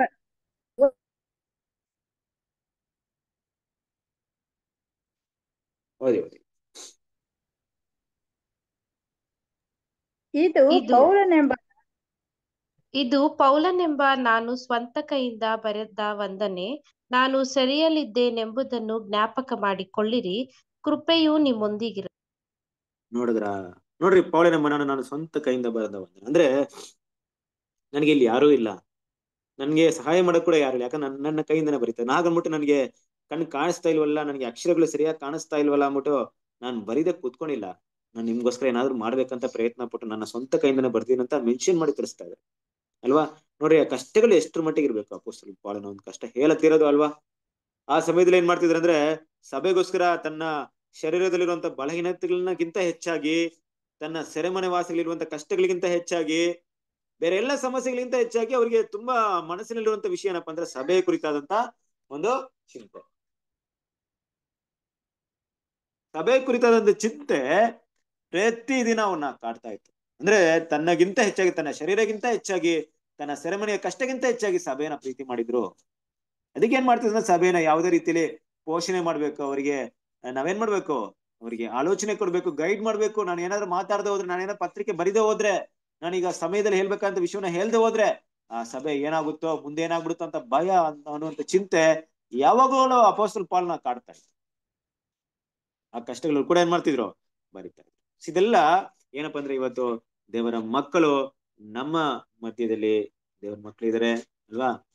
ಅಲ್ಲಿ ಕನಿಷ್ಠ ಪಕ್ಷ ನೀವು ಸಹೋದರಿಗೋಸ್ಕರ ಸೇವೆ ಮಾಡೋರಿಗೋಸ್ಕರ ಮಾಡ್ಬೇಕಂತ ಕನಿಷ್ಠ ಪಕ್ಷ ಏನಪ್ಪಾ, ನಿಮ್ಮ ಅವರ ಕಷ್ಟಗಳಲ್ಲಿ ನೀವು ಭಾಗಿಯಾಗೋದಕ್ಕೆ ಒಂದೇ ಒಂದು ಕನಿಷ್ಠವಾದ ದಾರಿ ಏನಪ್ಪಾ ಅಂದ್ರೆ ಅವ್ರಿಗೋಸ್ಕರ ಪ್ರಾರ್ಥನೆ ಮಾಡೋದು. ಪ್ರತಿದಿನ ಸುವಾರ್ತೆ ಸೇವೆ ಮಾಡೋರ್ನ ಏನ್ ಮಾಡ್ಕೊಳ್ಳಿ? ನೆನೆಸ್ಕೊಳ್ರಿ. ಅವ್ರ ಏನ್ ಮಾಡ್ತಾ ಇದಾರೆ? ಎಷ್ಟ್ರ ಮಟ್ಟಿಗೆ ಕಷ್ಟಗಳನ್ನ ಅನುಭವಿಸಿದ್ರು ಕೂಡ ಅವ್ರಿಗೋಸ್ಕರ ಏನ್ ಮಾಡ್ರಿ? ಅವ್ರ ಅವರಿಂದ ದೇವರ ವಾಕ್ಯ ಹೆಚ್ಚಾಗಿ ಪ್ರಚಲಿತವಾಗುವಂತ ಒಂದು ಕಾರಣಗಳಿಗೋಸ್ಕರ ಕೂಡ ಏನ್ ಮಾಡಿ? ಪ್ರಾರ್ಥನೆ ಮಾಡಿ. ಏನಂತ ವಿಷಯವನ್ನ ಏನ್ ಮಾಡ್ಬೋದು? ದೇವ್ರ ಮಕ್ಕಳಲ್ಲಿ ನಾವು ನೋಡ್ಬೋದು ಕ್ರಿಸ್ತನ ಪ್ರೀತಿ ಸಹಸವರು ಮತ್ತೆ ಮುಂದುವರಿತಾ ಅಪೋಸ್ತಲ್ ಪಾಲ್ ಏನ್ ಮಾಡ್ತಾರೆ? ಒಂದು ಮುಖ್ಯವಾದ ಒಂದು ವಿಷಯವನ್ನು ಕೂಡ ಅಲ್ಲಿ ಮೆನ್ಷನ್ ಮಾಡ್ತಾರೆ. ಏನಪ್ಪಾ ಅಂದ್ರೆ, ದಾಂಪತ್ಯವು ಮಾನ್ಯವಾದಂದು ಎಂದು ಎಲ್ಲರೂ ಎಣಿಸಬೇಕು. ಇದನ್ನ ಕಂಟಿನ್ಯೂ ಪಾರ್ಟ್ನ ನಾವು ನಾಲ್ಕನೇ ವಾಕ್ಯದಲ್ಲಿ ನೋಡೋಣ. ಹದಿಮೂರನೇ ಅಧ್ಯಾಯ ನಾಲ್ಕನೇ ವಾಕ್ಯದಲ್ಲಿ ಮುಂದುವರಿಯೋಣ. ಹೋದ್ರೆ ಹದಿಮೂರನೇ ಅಧ್ಯಾಯ ನಾಲ್ಕನೇ ವಾಕ್ಯ. ಗಂಡ ಹೆಂಡರ ಸಂಬಂಧವು ನಿಷ್ಕಳಂಕವಾಗಿರಬೇಕು. ಜಾರರಿಗೂ ವ್ಯಭಿಚಾರಿಗಳಿಗೂ ದೇವರು ನ್ಯಾಯ ತೀರಿಸುವೆನೆಂದು ತಿಳಿದುಕೊಳ್ಳಿರಿ. ಹೌದು. ಅಲ್ವಾ? ಇದು ನಮ್ಗೆ ಗೊತ್ತಿರುವಂತ ವಿಷಯ. ದಾಂಪತ್ಯ ಜೀವನವು ದೇವರ ದಾಂಪತ್ಯದ ಒಂದು ದೇವರ ದೇವರೇ ರೂಪಿಸಿದಂತ ಒಂದು ವಿಷಯ. ಸಾಮಾನ್ಯವಾಗಿ ಈ ವಿಷಯಗಳನ್ನ ಇಲ್ಲಿ ಮಾತಾಡೋಕ್ಕಿಂತ ಹೆಚ್ಚಾಗಿ ನಾವು ಈ ಮದುವೆ, ದೇವರ ಮಕ್ಕಳ ಒಂದು ಮ್ಯಾರೇಜ್ ಟೈಮಲ್ಲಿ ಕೂಡ ಏನ್ ಮಾಡ್ತೀವಿ? ತುಂಬಾ ಒಂದು ವಿಷಯನ ನಾವು ಕೇಳ್ತಾ ಇರ್ತೀವಿ. ಇಲ್ಲಿ ದೇವರ ಮಕ್ಕಳಿಗೆ ಅಪೋಸ್ಟಲ್ ಪಾಲ್ ಒಂದು ಒಂದು ಆಲೋಚನೆ ಕೊಡ್ತಾ ಇದ್ದಾರೆ ಮುಖ್ಯವಾಗಿ. ನೋಡ್ರಿ, ಮುಖ್ಯವಾಗಿ ಏನಪ್ಪಾ ಅಂದ್ರೆ ಇವತ್ತಿನ ಒಂದು ದಿನವನ್ನ ತಗೊಂಡಾಗ ದೇವರ ಮಕ್ಕಳ ಮಧ್ಯದಲ್ಲಿ ಇನ್ನು ಯೌವನಸ್ಥರು ಯೌವನಸ್ಥರು ನಾವು ತುಂಬಾ ಹೆಚ್ಚಾಗಿ ಮಾತಾಡ್ಬೇಕಾಗಿದೆ. ಇವಾಗ ಯೌವನಸ್ಥರು ಒಂದು ನಿರ್ಧಾರನ ತಗೊಳ್ಬೇಕಾದ್ರೆ ತಮ್ಮ ಮದುವೆ ವಿಷಯದಲ್ಲಿ ಅಲ್ವಾ? ಒಂದು ವೈಸ್ ಡಿಸಿಷನ್ ಯಾಕಂದ್ರೆ ನಮ್ಮ ಜೀವನ ತಗೊಳ್ಬೇಕಾದ್ರೆ ಕ್ರಿಸ್ತನ ಪ್ರೀತಿ ಸೌರ್ಯರೇ ಒಬ್ಬ ನೂತನ ಸೃಷ್ಟಿಯು ತನ್ನ ಜೀವನ ತಗೊಳ್ಳುವಂತ ಅತಿ ಉನ್ನತವಾದಂತ ಕೆಲವು ನಿರ್ಧಾರಗಳಿವೆ ತುಂಬಾ ಸೂಕ್ಷ್ಮವಾಗಿ ಆತನು ಅದನ್ನ ಆಲೋಚನೆ ಮಾಡಿ ದೇವರ ಸನ್ನಿಧಿಯಿಂದ ಪವಿತ್ರಾತ್ಮನ ಒಂದು ಬಲದಿಂದ ಅದನ್ನ ನಿಧನ ನಿರ್ಧಾರ ತಗೊಳ್ಬೇಕಾಗಿದೆ. ಅದರಲ್ಲೂ, ಅದರಲ್ಲಿ ಅವರ ಕಾನ್ಸಂಟ್ರೇಷನ್ ಎಷ್ಟು ಮುಖ್ಯವಾಗಿರುತ್ತೋ, ಅವರ ಮ್ಯಾರೇಜ್ ಲೈಫ್ ಕೂಡ ತುಂಬಾ ಮುಖ್ಯವಾಗಿರುತ್ತೆ. ಯಾಕಂದ್ರೆ ಇದು ದೇವರಿಂದ ನಿರ್ಮಿತವಾದದ್ದು. ಅದು ಮಾತ್ರವಲ್ಲ, ದೇವ್ರ ಮಕ್ಕಳು ಇಲ್ಲಿ ಅರ್ಥ ಮಾಡ್ಕೊಬೇಕಾಗಿರೋಂಥ ವಿಷಯ ಏನಪ್ಪಾ ಅಂದ್ರೆ, ನಾವು ನಮ್ಮ ನಿಜವಾದ ಮೊದಲಿಗಳಾದಂತ ಯೇಸು ಕ್ರಿಸ್ತನ ಮದ್ವೆ ಮಾಡ್ಕೊಳ್ಳೋಕೆ ನಿಶ್ಚಯ ಮಾಡಲ್ಪಟ್ಟಂತ ಕನ್ಯರಾಗಿದ್ದೀವಿ ಈ ಭೂಮಿಯಲ್ಲಿ. ಹಾಗಿರ್ಬೇಕಾದ್ರೆ ಈ ಭೂಮಿಯಲ್ಲಿರುವಂತ ಮ್ಯಾರೇಜ್ ಲೈಫ್ ನಾವು ಸರಿಯಾಗಿ ಲೀಡ್ ಮಾಡಿಲ್ಲ ಅಂದ್ರೆ, ಆ, ನಿಜವಾದಂತ ಕ್ರಿಸ್ತನ ಜೊತೆಗೆ ಮೊದಲಿಗಿಂತ ಇರುವಂತ ಲೈಫ್ ಹೆಂಗ್ ಲೀಡ್ ಮಾಡಕ್ಕಾಗುತ್ತೆ? ಈ ದಾಂಪತ್ಯ ಜೀವನದಲ್ಲಿ ನಾವು ನಂಬಿಕಸ್ಥರಾಗಿ, ಒಳ್ಳೆಯವರಾಗಿ ಪ್ರೂಫ್ ಮಾಡಕ್ಕಾಗ್ಲಿ ನಮ್ಮ ಕೈಲಿ ಅಂದ್ರೆ. ಕರ್ತನದ ಯೇಸು ಕ್ರಿಸ್ತನ ನಮ್ಮನ್ನ ಮೊದಲಿಂಗಿತಿಯಾಗಿ ಅಂಗೀಕರಿಸ್ತಾರ? ಅದರಿಂದ ಇದೆಲ್ಲ ಕೂಡ ಏನಾಗುತ್ತೆ ಅಂದ್ರೆ ದೇವ್ರ ಮಕ್ಕಳು ನಾವು ನೆನ್ಪಲ್ಲಿ ಇಟ್ಕೊಬೇಕು. ಅಂದ್ರೆ ದೇವ್ರ ಮಕ್ಕಳಾಗಿರುವಂತ ನಾವು ಇಂಥ ವಿಷಯಗಳಿಂದ ತುಂಬಾ ದೂರವಾಗಿರ್ತೀವಿ ಅಂತ ನಮ್ಮೆಲ್ಲರಿಗೂ ಗೊತ್ತಾಯ್ತು. ಅಂದ್ರೆ ನಾವು ದೇವರಿಗೆ ಎದುರ್ತೀವಿ ಮನುಷ್ಯರಿಗಲ್ಲ. ಅಲ್ವಾ? ಯಾರು ನಮ್ಮನ್ನ ನೋಡ್ಬಿಡ್ತಾರೋ, ನೋಡೋ ನೋಟದಲ್ಲಿ ಮಾತ್ರ ನಾವು ಒಳ್ಳೆಯವರಾಗಿ ಅಂತ ಇರ್ಬೇಕಂತ ಇಷ್ಟಪಡದೆ ನಮ್ಮನ್ನ ಪ್ರತಿದಿನ ನೋಡುವಂತ ದೇವರು ಅಂದ್ರೆ C C TV evenly C C TV ಇದೆ ಅಂತ ನಮ್ಮೆಲ್ಲರಿಗೂ ಗೊತ್ತಿದೆ. ಎವನ್ಲಿ ಕ್ಯಾಮೆರಾ ನಮ್ಮ ಮೇಲೆ ಯಾವಾಗ್ಲೂ ಇದೆ. ನಮ್ಮ ಹೃದಯನ ದೇವರು ಯಾವಾಗ್ಲೂ ನೋಡ್ತಾ ಇದ್ದಾರೆ. ಆದ್ರಿಂದ ದೇವರ ದೃಷ್ಟಿಗೆ ನಾವು ಯೋಗ್ಯರಾಗಿ ನಡ್ಕೊಬೇಕಂತ ಭಯ ಖಂಡಿತವಾಗ್ಲೂ ಪ್ರತಿಯೊಬ್ಬ ದೇವ್ರ ಮಕ್ಕಳಲ್ಲಿ ಇದ್ದೇ ಇರುತ್ತೆ ಕೃಷ್ಣನ ಪ್ರೀತಿಯ ಸರಸ್ವರಿ. ಆದ್ರಿಂದ ಇಂಥ ವಿಷಯಗಳಿಗೆ ನಾವು ಯಾವಾಗಲೂ ದೂರವಾಗಿರ್ತೀವಿ. ಇಂಥ ಒಂದು ಕಾರ್ಯಗಳಲ್ಲಿ ನಾವು ಯಾವಾಗಲೂ ದೂರವಾಗಿರ್ತೀವಿ. ಯಾಕಂದ್ರೆ ನಮ್ಮೆಲ್ರಿಗೂ ಗೊತ್ತಿದೆ, ಜೀವಂತ ದೇವರ ಕೈಯಲ್ಲಿ ಬೀಳುವುದು ಇಷ್ಟು ಭಯಂಕರವಾಗಿರುತ್ತೆ. ನಾವು ಯಾವ್ದಾದ್ರು ಒಂದು ಲೋಕದ ವಿಷಯಗಳನ್ನ ನಮ್ಮ ಬಲಹೀನತೆಗಳಿಂದ ಆ, ಕೆಲವೊಂದು ವಿಷಯಗಳನ್ನ ನಾವು ಮಾಡ್ಬೋದು. ಆದ್ರೆ ದೇವ್ರು ಏನ್ ಮಾಡ್ತಾರೆ? ಕೆಲವೊಂದು ವಿಷಯಗಳ ಬಗ್ಗೆ ತುಂಬಾ ಕೇರ್ಫುಲ್ ಆಗಿರೋದಕ್ಕೆ ನಮ್ಗೆ ಆಲೋಚನೆ ಕೊಡ್ತಾ ಇದ್ದಾರೆ. ಯಾಕಂದ್ರೆ ಇವತ್ತಿನ ಪ್ರಪಂಚದಲ್ಲಿ ಕ್ರಿಸ್ತನ ಪ್ರೀತಿಯ ಸಹಸವರೇ ಸನ್ನಿವೇಶಗಳು ಎಷ್ಟು ಮೋಸವಾಗಿದೆ ಅಂದ್ರೆ ದೇವ್ರ ಮಕ್ಕಳು ನಾವು ನಮ್ಮನ್ನ ಕಾಪಾಡ್ಕೊಳ್ಳಕ್ಕೆ ದೇವರ ಬಲವಾದ ಹಸ್ತದಲ್ಲಿ ನಾವು ಯಾವಾಗಲೂ ಇರ್ಬೇಕಾಗುತ್ತೆ. ಯಾಕಂದ್ರೆ ಸ್ವಲ್ಪ ನಾವು ಏನ್ ಕೂಡ, ಸ್ವಲ್ಪ ನಾವು ದಾರಿನ ಬಿಟ್ಟು ಹೋದ್ರು ಕೂಡ, ದೇವರ ದೇವರ ಒಂದು ಗೈಡೆನ್ಸ್ನ ಬಿಟ್ಟು ಹೋದ್ರು ಕೂಡ ದೇವ್ರಿಟ್ಟಿರೋ ನ ಸ್ವಲ್ಪ ಮಿಸ್ ಮಾಡಿದ್ರು ಕೂಡ ನಾನಾ ರೀತಿಯಾದಂತಹ ಸಮಸ್ಯೆಗಳಿಗೆ ಸಿಲುಕಿ ಹಾಕಿಕೊಳ್ಳುವುದಕ್ಕೆ ಹಲವಾರು ಟ್ರ್ಯಾಪ್ ಇದೆ ಕ್ರಿಸ್ತನ ಪ್ರೀತಿಯ ಸರಸ್ವರಿ ಹಲವಾರು ಬಳೆಗಳಿದೆ ಇವತ್ತು ನಮ್ಮ ಮಧ್ಯದಲ್ಲಿ. ಅದರಿಂದ ದೇವ್ರ ಮಕ್ಕಳು ಯಾವಾಗಲೂ ಕೂಡ ಜಾಗರೂಕತೆಯಿಂದ ಇಂತಹ ವಿಷಯಗಳಿಂದ ನಾವು ಯಾವಾಗಲೂ ದೂರವಾಗಿರೋದು ತುಂಬಾನೇ ಒಳ್ಳೇದು. ಇದಕ್ಕೆ ಬೇಕಾದಂತ ಆಲೋಚನೆ, ಸತ್ಯ ಪ್ರತಿಯೊಂದು ಕೂಡ ದೇವ್ರ ವಾಕ್ಯ ನಮ್ಗೆ ಕೊಡ್ತಾ ಇದೆ. ದೇವರ ಆತ್ಮ ಮೂಲಕ ನಡೆಸಲ್ಪಡುವಂತ ದೇವರ ಮಕ್ಕಳು ಕೆಲವೊಂದು ಅಪಾಯಕರವಾದಂತ ಸನ್ನಿವೇಶನ ಮುಂಚಿತವಾಗೇ ತಿಳ್ಕೊಂಡ್ಬಿಡ್ತಾರೆ. ಓ, ಈ ಒಂದು ದಾರಿ ತಪ್ಪಾಗಿರುತ್ತೆ. ಈ ದಾರಿಯಲ್ಲಿ ಹೋಗೋದು ಖಂಡಿತವಾಗ್ಲೂ ನನ್ನ ಆತ್ಮಿಕ ಜೀವನಕ್ಕೆ ಪ್ರಯೋಜನವಾಗಿರಲ್ಲ. ಅದರಿಂದ ಇಂಥ ಒಂದು ಕೆಲಸ ಮಾಡೋದ ಮುಂದೆ ನನಗೆ ಅಪಾಯ ಬರ್ಬೋದು ಅನ್ನೋಂಥ ವಿಷಯ ಮುಂಚಿತವಾಗಿ ಅವ್ರಿಗೆ ಏನಾಗುತ್ತೆ? ದೇವರ ಆತ್ಮ ಪ್ರೇರಿತವಾಗಿ ತಿಳಿಸಲ್ಪಟ್ಟಿರುತ್ತೆ. ಅದರಿಂದ ನಮ್ಮ ಜೀವನದಲ್ಲಿ ದೇವರ ಮಕ್ಕಳು ನಮಗೆ ಈ ಮದುವೆ ಅನ್ನೋದು ಖಂಡಿತವಾಗ್ಲೂ ಎಲ್ರಿಗೂ ದೇವ್ರು ಇಟ್ಟಿರುವಂತ ಒಂದು ವಿಷಯ. ಈಗಿನ ಕಾಲದಲ್ಲಿ ನನ್ನ ಪ್ರಕಾರ ಅಂದ್ರೆ ಅಪೋಸ್ತಲ್ ಪಾಲ್ ಇದನ್ನ ಬರಿತಾ ಇದ್ರೆ ಅಪೋಸ್ತಲ್ ಪಾಲ್ ಬರಿಬೇಕಾದ್ರೆ ಅವರು ಮ್ಯಾರೇಜ್ ಮಾಡಿರ್ಲಿಲ್ಲ. ಆದ್ರೆ ಏನ್ ಮಾಡ್ತಾ ಇದ್ರ ಅಂದ್ರೆ ದೇವರಾತ್ಮ ಪ್ರೇರಿತ ಕೆಲವೊಂದು ವಿಷಯನ ಬರಿತಾ ಯಾವ ರೀತಿ ಅಂದ್ರೆ ನೋಡ್ರಿ ಮದ್ವೆ ಮಾಡ್ಕೊಳ್ರಿ. ಇವತ್ತು ಯವನಸ್ಥರು ಹಲವಾರು ಜನ ಈ ಒಂದು ಡಿಸಿಷನ್ ಮಾಡೋದ್ರಲ್ಲಿ ತುಂಬಾ ತುಂಬಾ ಕೇರ್ಲೆಸ್ ಆಗಿತ್ತು ದೇವ್ರಿಗೋಸ್ಕರ, ದೇವ್ರ ಸೇವೆಗೋಸ್ಕರ ನಾವು ಒಂದು ಮ್ಯಾರೇಜ್ ಲೈಬಲ್ ಹೋಗಿ ಅಲ್ಲಿಂದ ಲೈಫ್ ಇಂದ ದೇವ್ರನ್ನ ಮಗೆ ಪಡಿಸುವಂತ ಒಂದು ನಿರ್ಧಾರವನ್ನ ತಗೊಳ್ಳೋದ್ರಲ್ಲಿ ತುಂಬಾ ಹಿಂದೆ ಇದ್ದಾರೆ. ಆಗಿರ್ಬೇಕಾದ್ರೆ ದೇವ್ರ ಮಕ್ಳು, ಇದು ಖಂಡಿತವಾಗ್ಲೂ ಅವಶ್ಯಕವಾಗಿದೆ. ಇಲ್ಲ, ನಾನು ಮದುವೆ ಮಾಡ್ಕೊಳ್ದೆ ಅಪೋಸ್ಟಲ್ ಪಾಲ್ ತರ ಇರ್ತೀನಿ ಅಂದ್ರೆ, ಅದು ಖಂಡಿತವಾಗ್ಲೂ ಈಗಿನ ಪ್ರಪಂಚದಲ್ಲಿ ಅದು ಸೂಟಬಲ್ ಆಗಿರಲ್ಲ. ಅಲ್ವಾ? ಆ ರೀತಿ ಅವಶ್ಯಕತೆ ನಮ್ಗಿಲ್ಲ. ಅಷ್ಟು ದೊಡ್ಡ ಸೇವೆ ನಮಗಿಲ್ಲ ಕ್ರಿಸ್ತನ ಸಹೋದರ ಅಪೋಸ್ಟಲ್ ಪಾಲ್ ಕೊಟ್ಟಂತ ಅಷ್ಟು ದೊಡ್ಡ ದೊಡ್ಡ ಜವಾಬ್ದಾರಿ ನಮ್ ಕೈಲಿಲ್ಲ. ಇಲ್ಲಪ್ಪ, ನಾನು ಮ್ಯಾರೇಜ್ ಮಾಡ್ಕೊಂಡ್ರೆ ಕೆಲಸ ಮಾಡಕ್ಕಾಗಲ್ಲ. ನಾನು ಮ್ಯಾರೇಜ್ ಮಾಡ್ಕೊಳ್ದೇನೆ, ಇದೆಲ್ಲ ಮಾಡಿ ಮುಗಿಸ್ತೀನಿ ಅಷ್ಟು ದೊಡ್ಡ ಸ್ವಾರ್ಥ ಸೇವೆ ಇದೆ. ಇಡೀ ಲೋಕಕ್ಕೆ ಹೋಗ್ಬೇಕು. ಹಲವಾರು ದೇಶಗಳು ಸುತ್ತಾಡ್ಬೇಕು. ಆ ರೀತಿಯಾದಂತ ಒಂದು ದೊಡ್ಡ ದೊಡ್ಡ ಕೆಲಸ ಎಲ್ಲ ಮುಗೀತು ಪ್ರೀತಿ. ನಾವು ಮಾಡ್ತಾರಂತ ಅಲ್ಲಿ ನೋಡಿ ಈಗ ನೋಡಿ, ನಾನು ಕೂಡ ಝೂಮ್ ಅಲ್ಲಿ ಕುತ್ಕೊಂಡಿದ್ದೀನಿ. ಇಲ್ಲಿ ಮನೇಲಿ ಕುತ್ಕೊಂಡು ಪವರ್ ಪಾಯಿಂಟ್ ಪ್ರೆಸೆಂಟೇಶನ್ ಮಾಡ್ತಾ ಇದ್ದೀನಿ. ನೋಡಿ ಟೆಕ್ನಾಲಜಿ ಏನಾಗಿದೆ? ನಮ್ಮನ್ನ ಆ ರೀತಿ ಇಡ್ಲಿಲ್ಲ ಆದ್ರಿಂದ ಪೋಸ್ಟಲ್ ಪಾಲ್ ತರ ಜೀವನ ಮಾಡ್ಬೇಕು, ನಾನು ಮದುವೆ ಇಲ್ಲದೆ ಮಾಡ್ತೀನಿ ಅಂತ ನಿರ್ಧಾರಗಳು ತಗೊಳ್ಳುವಂತ ಅವಶ್ಯಕತೆ ಇಲ್ಲ. ಅಷ್ಟು ದೊಡ್ಡ ಸ್ವಾರ್ಥ ಸೇವೆಯ ಜವಾಬ್ದಾರಿ ನಮ್ ಕೈಲಿ ಕೊಡಲ್ಪಡ್ಲಿಲ್ಲ. ಒಂದ್ ವೇಳೆ ಆ ರೀತಿ ಕೆಲವರು ಇದ್ರೆ ದೇವ್ರಿಗೋಸ್ಕರ ನಿಜವಾಗ್ಲೂ ಹಾನೆಸ್ಟ್ ಆಗಿರ್ತಾರೆ ಅಂದ್ರೆ ಅವರು ಜ್ಞಾನವಾಗಿ ಆ ನಿರ್ಧಾರ ತಗೊಂಡಿರ್ತಾರೆ. ಇಲ್ವಾ? ಖಂಡಿತವಾಗ್ಲು ದೇವರ ಆತ್ಮ ಪ್ರೇರಿತ ತಗೊಂಡಿರ್ತಾರೆ. ಅವ್ರು ತಗೊಂಡಿ ನಿರ್ಧಾರದಲ್ಲಿ ಕೊನೆವರೆಗೂ ಇರ್ತಾರೆ ಅಂದ್ರೆ ಅದು ನಾವು ಅದಕ್ಕೆ ಅಡ್ಡಿ ಅಲ್ಲ ಆದ್ರೂ ಕೂಡ ದೇವ್ರೇನ್ ಮಾಡ್ತಾ ಇದ್ರೆ? ಖಂಡಿತವಾಗ್ಲು ಈ ಮ್ಯಾರೇಜ್ ಲೈಫ್ ಅಲ್ಲಿ ಇರ್ಬೇಕು ಮತ್ತೆ ಅದು ನಿಷ್ಕಲಂಕವಾಗಿರ್ಬೇಕು ಅದಕ್ಕೆ ವಿರೋಧದಂತ ಯಾವುದೇ ಕೆಲಸಗಳು ಖಂಡಿತವಾಗ್ಲು ದೇವ್ರ ಮಕ್ಕಳು, ಅವರ ಅವ್ರ ಎಲ್ಲೂ ಕೂಡ ಕೇಳಲ್ಪಡ್ಬಾರ್ದು ಅನ್ನೋ ರೀತಿಯಲ್ಲಿ ನಾವು ನಡ್ಕೊಳ್ಬೇಕು. ಅದಕ್ಕೆ ಹೇಳ್ತಾ ಇದ್ರೆ ಯಾಕಂದ್ರೆ ನಾವೆಲ್ಲರೂ ಕೂಡ ದೇವರ ಹಸ್ತದಲ್ಲಿ ಇದ್ದೀವಿ ಕೃಷ್ಣನ ಪ್ರೀತಿಯ ಸರಸ್ವರಿಯರೇ ಕೃಪೆ ಇದೇ ಆದ್ರೂ ದೇವರು ನಾವು ಮಾಡೋಂಥ ಪ್ರತಿಯೊಂದು ತಪ್ಪಿಗೂ ಕೂಡ ಪನಿಷ್ಮೆಂಟ್ ಕೂಡ ಇದೆ. ನಾವು ಮಾಡೋಂಥ ತಪ್ಪಿನ ಒಂದು ಪನಿಷ್ಮೆಂಟ್ ಕೆಲವೊಂದು ಟೈಮ್ ಎಷ್ಟು ತೀವ್ರವಾಗಿರುತ್ತೆ ಅಂದ್ರೆ ಅದು ಮುಂಚಿತವಾಗಿ ನಮ್ಗೇನೋ ಗೊತ್ತಿತ್ತು ಅಂದ್ರೆ ಅದು ನಾವು ಮುಟ್ತಾನೆ ಇರ್ಲಿಲ್ಲ ಮಾಡ್ತಾನೆ ಇರ್ಲಿಲ್ಲ. ಆ ರೀತಿ ಇರುತ್ತೆ. ಅದರಿಂದ ಮುನ್ನೆಚ್ಚರಿಕೆಯಿಂದ ಇಂಥ ವಿಷಯಗಳಿಂದ ದೇವ್ರ ಮಕ್ಕಳು ಯಾವಾಗ್ಲೂ ನಾವು ದೂರವಾಗಿರ್ಬೇಕು. ಸೊ ದೇವರ ವಾಕ್ಯ ಕೂಡ ನಮ್ಗೆ ಏನಾಗ್ತಿದೆ? ತುಂಬಾ ವಿಷಯವನ್ನ ನಮ್ಗೆ ಹೇಳ್ಕೊಡ್ತಾ ಇದೆ. ತುಂಬಾ ಒಂದು ಅಹ್ ಆಲೋಚನೆ ಏನ್ ಮಾಡ್ತಾ ಇದೆ, ಕೊಡ್ತಾ ಇದೆ. ಆದ್ರಿಂದ ಅಂತ ಒಂದು ವಿಷಯಗಳಿಗೆ ನಾವು ಕಿವಿ ಕೊಡೋದು ತುಂಬಾ ಒಳ್ಳೇದಾಗಿರುತ್ತೆ. ನೋಡಿ ಇಲ್ಲಿ ಅಪೋಸ್ತಲ್ ಪಾಲ್ ಬಗ್ಗೆ ಮಾತಾಡ್ಬೇಕಾದ್ರೆ, ಅಪೋಸ್ತಲ್ ಪಾಲ್ ಏನ್ ಮಾಡ್ತಾರೆ ಅಂದ್ರೆ ದೇವರ ಆತ್ಮ ಪ್ರಯುಕ್ತನಾಗಿ ತುಂಬಾ ಅಡ್ವೈಸ್ನ ಏನ್ ಮಾಡ್ತಾರೆ, ಸಭೆಗೆ ಕೊಡ್ತಾ ಹೋಗ್ತಾರೆ. ಸಭೆಗೆ ಈ ಅಡ್ವೈಸ್ ಎಲ್ಲ ಬೇಕಾಗಿರುತ್ತೆ. ಯಾಕಂದ್ರೆ ಕೆಲವೊಂದು ಟೈಮಲ್ಲಿ ನಮಗೆ ಬೇಕಾಗದೆ ಇರ್ಬೋದು, ಆದ್ರೆ ನಮ್ಮ ಮಕ್ಕಳಿಗೆ ಇಲ್ಲವೇ ಯವ್ವನಸ್ಥರಿಗೆ ಇಂಥ ಆಲೋಚನೆ ಪ್ರಾಪರ್ ಆಗ್ಬೇಕಾಗಿರುತ್ತೆ ಅದನ್ನ ಏನ್ ಮಾಡಲ್ಲ ಇವತ್ತು, ತುಂಬಾ ಜನ ಯೋಚನೆ ಮಾಡಿರೋಣ. ಹಲವಾರು ವಿಷಯಗಳ ಅವ್ರು ನೆಗೆಟಿವ್ ಆಗಿ ಥಿಂಕ್ ಮಾಡಕ್ ಏನಪ್ಪಾ ಕಾರಣ ಅಂದ್ರೆ ಸುತ್ತಮುತ್ತಲಿರುವಂತ ಒಂದು ಒಂದು ಮದ್ವೆ ದಾಂಪತ್ಯ ಜೀವನದಲ್ಲಿ ಇರುವಂತ ವಿಷಯಗಳನ್ನ ಏನ್ ಮಾಡ್ತಾರೆ? ಗಮನ, ಗಮನದಲ್ಲಿ ನೋಡಿರ್ತಾರೆ. ಅಲ್ಲಾಗಿರುವಂತ ಸಮಸ್ಯೆ, ಜಗಳ ನೋಡಿ ಏನ್ ಮಾಡ್ತಾರೆ? ಅಯ್ಯೋ ಬೇಡಪ್ಪ, ಮದ್ವೆನೇ ಬೇಡ ನಮ್ಗೆ. ಹಿಂಗೆ ಇದ್ಬೇಡ ಯಾಕಪ್ಪ ಕಷ್ಟ ಪಡೋದು ಅನ್ನೋ ರೀತಿಲಿ ಇರುತ್ತೆ. ಇಷ್ಟೆಲ್ಲ ಪ್ರೀತಿಯ ಸೌರ ಸೌರ್ಯರೇ ಒಂದು ಒಳ್ಳೆ ಕುಟುಂಬದಲ್ಲಿರುವಂತ ಒಳ್ಳೆ ವಿಷಯಗಳು ಹೊರಡೆ ಮಾತಾಡಕ್ ಪಡಲ್ಲ. ಆದ್ರೆ ಅಲ್ಲಾಗುವಂತ ತಪ್ಪಾದ ವಿಷಯ ಅತಿ ಬೇಗ ಹರಡಬಿಡುತ್ತೆ ಅದಕ್ಕೆ ಅವ್ರ ಮುಂದೆ ಕಾಣಿಸ್ಕೊಳ್ಳೋದೆಲ್ಲ ನೆಗೆಟಿವ್ ಆಗಿರುವಂತ ಒಂದು ಎಕ್ಸಾಂಪಲ್ ಇರುತ್ತೆ ಹೊರತು ಪಾಸಿಟಿವ್ ಎಕ್ಸಾಂಪಲ್ ಅವ್ರು ಹುಡ್ಕೋಕ್ ಹೋಗಲ್ಲ. ನಮ್ಮ ತಂದೆ ತಾಯಿ ರೀತಿಯಲ್ಲಿ ಇಲ್ಲ ಬೇರೆಯವ್ರ ರೀತಿಯಲ್ಲಿ, ಅವ್ರ ರೀತಿಯಲ್ಲಿ ಅನ್ನೋಂಥ ರೀತಿಯಲ್ಲಿ ಎಕ್ಸಾಂಪಲ್ ಹುಡ್ಕಕ್ ಆಗಲ್ಲ ಇಲ್ಲಿ ದಾಂಪತ್ಯ ಜೀವನ ಅಲ್ಲಿರುವಂತ ಒಳ್ಳೆ ಗುಣಗಳು ಈಚೆ ಮಾತಾಡಕ್ ಆಗಲ್ಲ ಅಲ್ಲೇ ಇರುತ್ತೆ. ಆದ್ರೆ ಕೆಟ್ಟ ವಿಷಯ ಏನಾದ್ರೂ ಏನಾಗುತ್ತೆ? ಅದು ಬೀದಿವರೆಗೆ ಬರುತ್ತೆ, ಮನೆಯಿಂದ ಈಚೆವರೆಗೂ ಬರುತ್ತೆ. ಅದೆಲ್ಲ ಕೇಳುವಂತ ಜನರಿಗೆ ಏನಾಗುತ್ತೆ ಅಂದ್ರೆ ಇವತ್ತು ತಪ್ಪಾದ ನಿರ್ಧಾರ ತಗೊಳ್ಳೋದೇ ತುಂಬಾ ಹೆಚ್ಚಾಗಿರುತ್ತೆ. ಅಲ್ವಾ? ಹಾಗಂತ ಒಳ್ಳೆಯವರೇ ಇಲ್ಲ ಅಂತಲ್ಲ. ದೇವ್ರಿಗೋಸ್ಕರ ಸಮರ್ಪಣೆ ಮಾಡಿ, ದೇವ್ರಿಗೋಸ್ಕರ ಅರ್ಪಣೆ ಮಾಡುವಂತ ಎಷ್ಟೋ ಜೀವಿತಗಳಿದೆ, ಎಷ್ಟೋ ಕುಟುಂಬಗಳಿವೆ. ಅವರ ಜೀವನ ದೇವರಿಗೋಸ್ಕರ ಸಮರ್ಪಣೆ ಮಾಡಲ್ಪಟ್ಟಂತ ಒಂದು ಜೀವನವಾಗಿ, ಒಂದು ಚಿಕ್ಕ ಪ್ರಲೋಕದ ಒಂದು ಕುಟುಂಬವಾಗಿ ಜೀವನ ಮಾಡುವಂತ ಎಷ್ಟೋ ದೇವರ ಮಕ್ಕಳು ಇವತ್ತು ಕೂಡ ಭೂಮಿಯಲ್ಲಿ ಇದ್ದಾರೆ ಅವರ ಎಕ್ಸಾಂಪಲ್ಸ್ನ ನೋಡೋದು ತುಂಬಾ ಒಳ್ಳೇದಾಗಿರುತ್ತೆ ಹಾಗಿರೋದ್ರಿಂದ ದೇವ್ರ ಮಕ್ಕಳು, ಇದನ್ನ ನಾವು ಮನಸ್ಸಲ್ಲಿ ಇಟ್ಕೊಳ್ಳೋಣ. ಒಂದು ವಾಕ್ಯವನ್ನು ಓದೋಣ. ಇಬ್ಬರಿದವರಿಗೆ ಹದಿಮೂರನೇ ಅಧ್ಯಾಯ ಐದನೇ ವಾಕ್ಯ.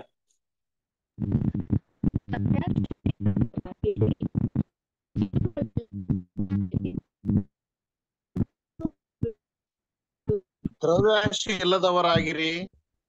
ನಿಮಗಿರುವವುಗಳಲ್ಲಿ ತೃಪ್ತರಾಗಿರಿ.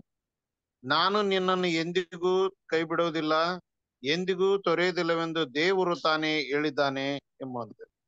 ಹೌದು. ಕ್ರಿಸ್ತಲ್ ದ್ರವ್ಯಾಶೆ ಇಲ್ಲದವರಾಗಿರ್ರಿ ನಿಮಗಿರುವುಗಳಲ್ಲಿ ತೃಪ್ತರಾಗಿರ್ರಿ ನಾನು ನಿಮ್ಮನ್ನು ಎಂದಿಗೂ ಕೈ ಬಿಡುವುದಿಲ್ಲ ಎಂದಿಗೂ ತೊರೆಯುವುದಿಲ್ಲ ಎಂದು ದೇವರು ತಾನೇ ಹೇಳಿದ್ದಾನೆ. ತುಂಬಾ ಮುಖ್ಯವಾದಂತ ಒಂದು ಪಾಯಿಂಟ್ ಇವತ್ತು.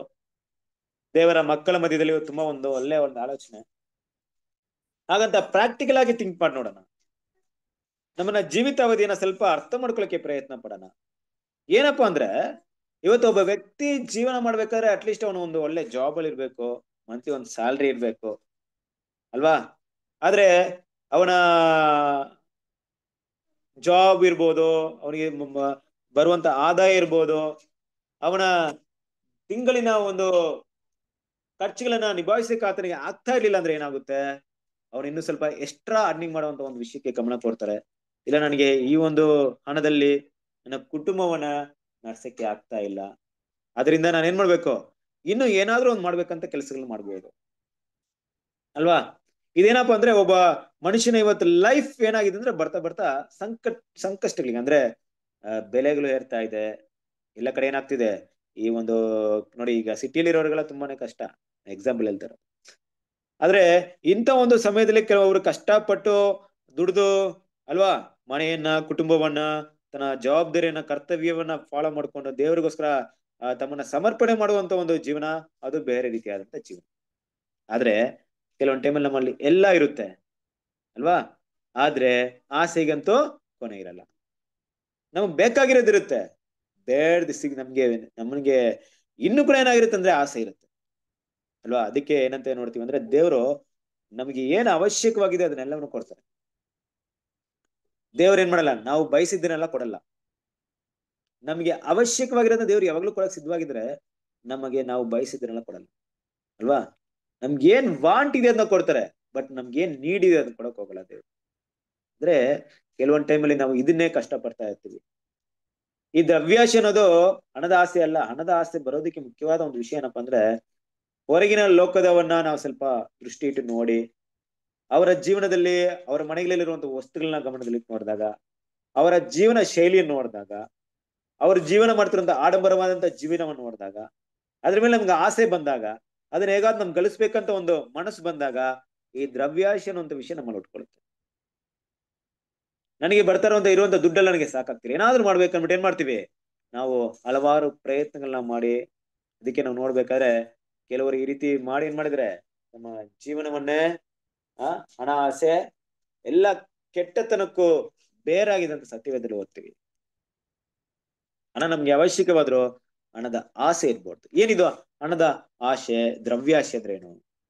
ನೋಡಿ ನಮ್ಗೆ ಏನ್ ಬೇಕಾಗಿದೆಯೋ ಅದರಲ್ಲಿ ಸಂತೃಪ್ತಿ ಆಗಿರೋದು ಸರಿಯಾದ ವಿಷಯ. ಆದ್ರೆ ನಮ್ಗೆ ಬೇಕಾಗಿರುವಂತ ವಿಷಯಕ್ಕಿಂತ ನಮ್ಗೆ ಇದ್ರೂ ಕೂಡ ಅದಕ್ಕಿಂತ ಹೆಚ್ಚಾದ ವಿಷಯಗಳ ಕಡೆ ನಾವು ಗಮನ ಕೊಟ್ಟು ಅದನ್ನ ಹುಡುಕಿ, ಅದನ್ನ ಬಯಸ್ಕೊಂಡು, ಅದನ್ನ ಹೆಂಗಾದ್ರೂ ಗಳಿಸ್ಬೇಕು ಅಂದ್ಬಿಟ್ಟು ನಮ್ಮ ಸಮಯ, ಜ್ಞಾನ, ಬುದ್ಧಿವಂತಿಕೆ, ನಮ್ಮ ಬಲ, ನಮ್ಮ ಟ್ಯಾಲೆಂಟ್ ಏನೆಲ್ಲ ಅದಕ್ಕೆ ಯೂಸ್ ಮಾಡ್ತೀವಿ ನೋಡ್ರಿ.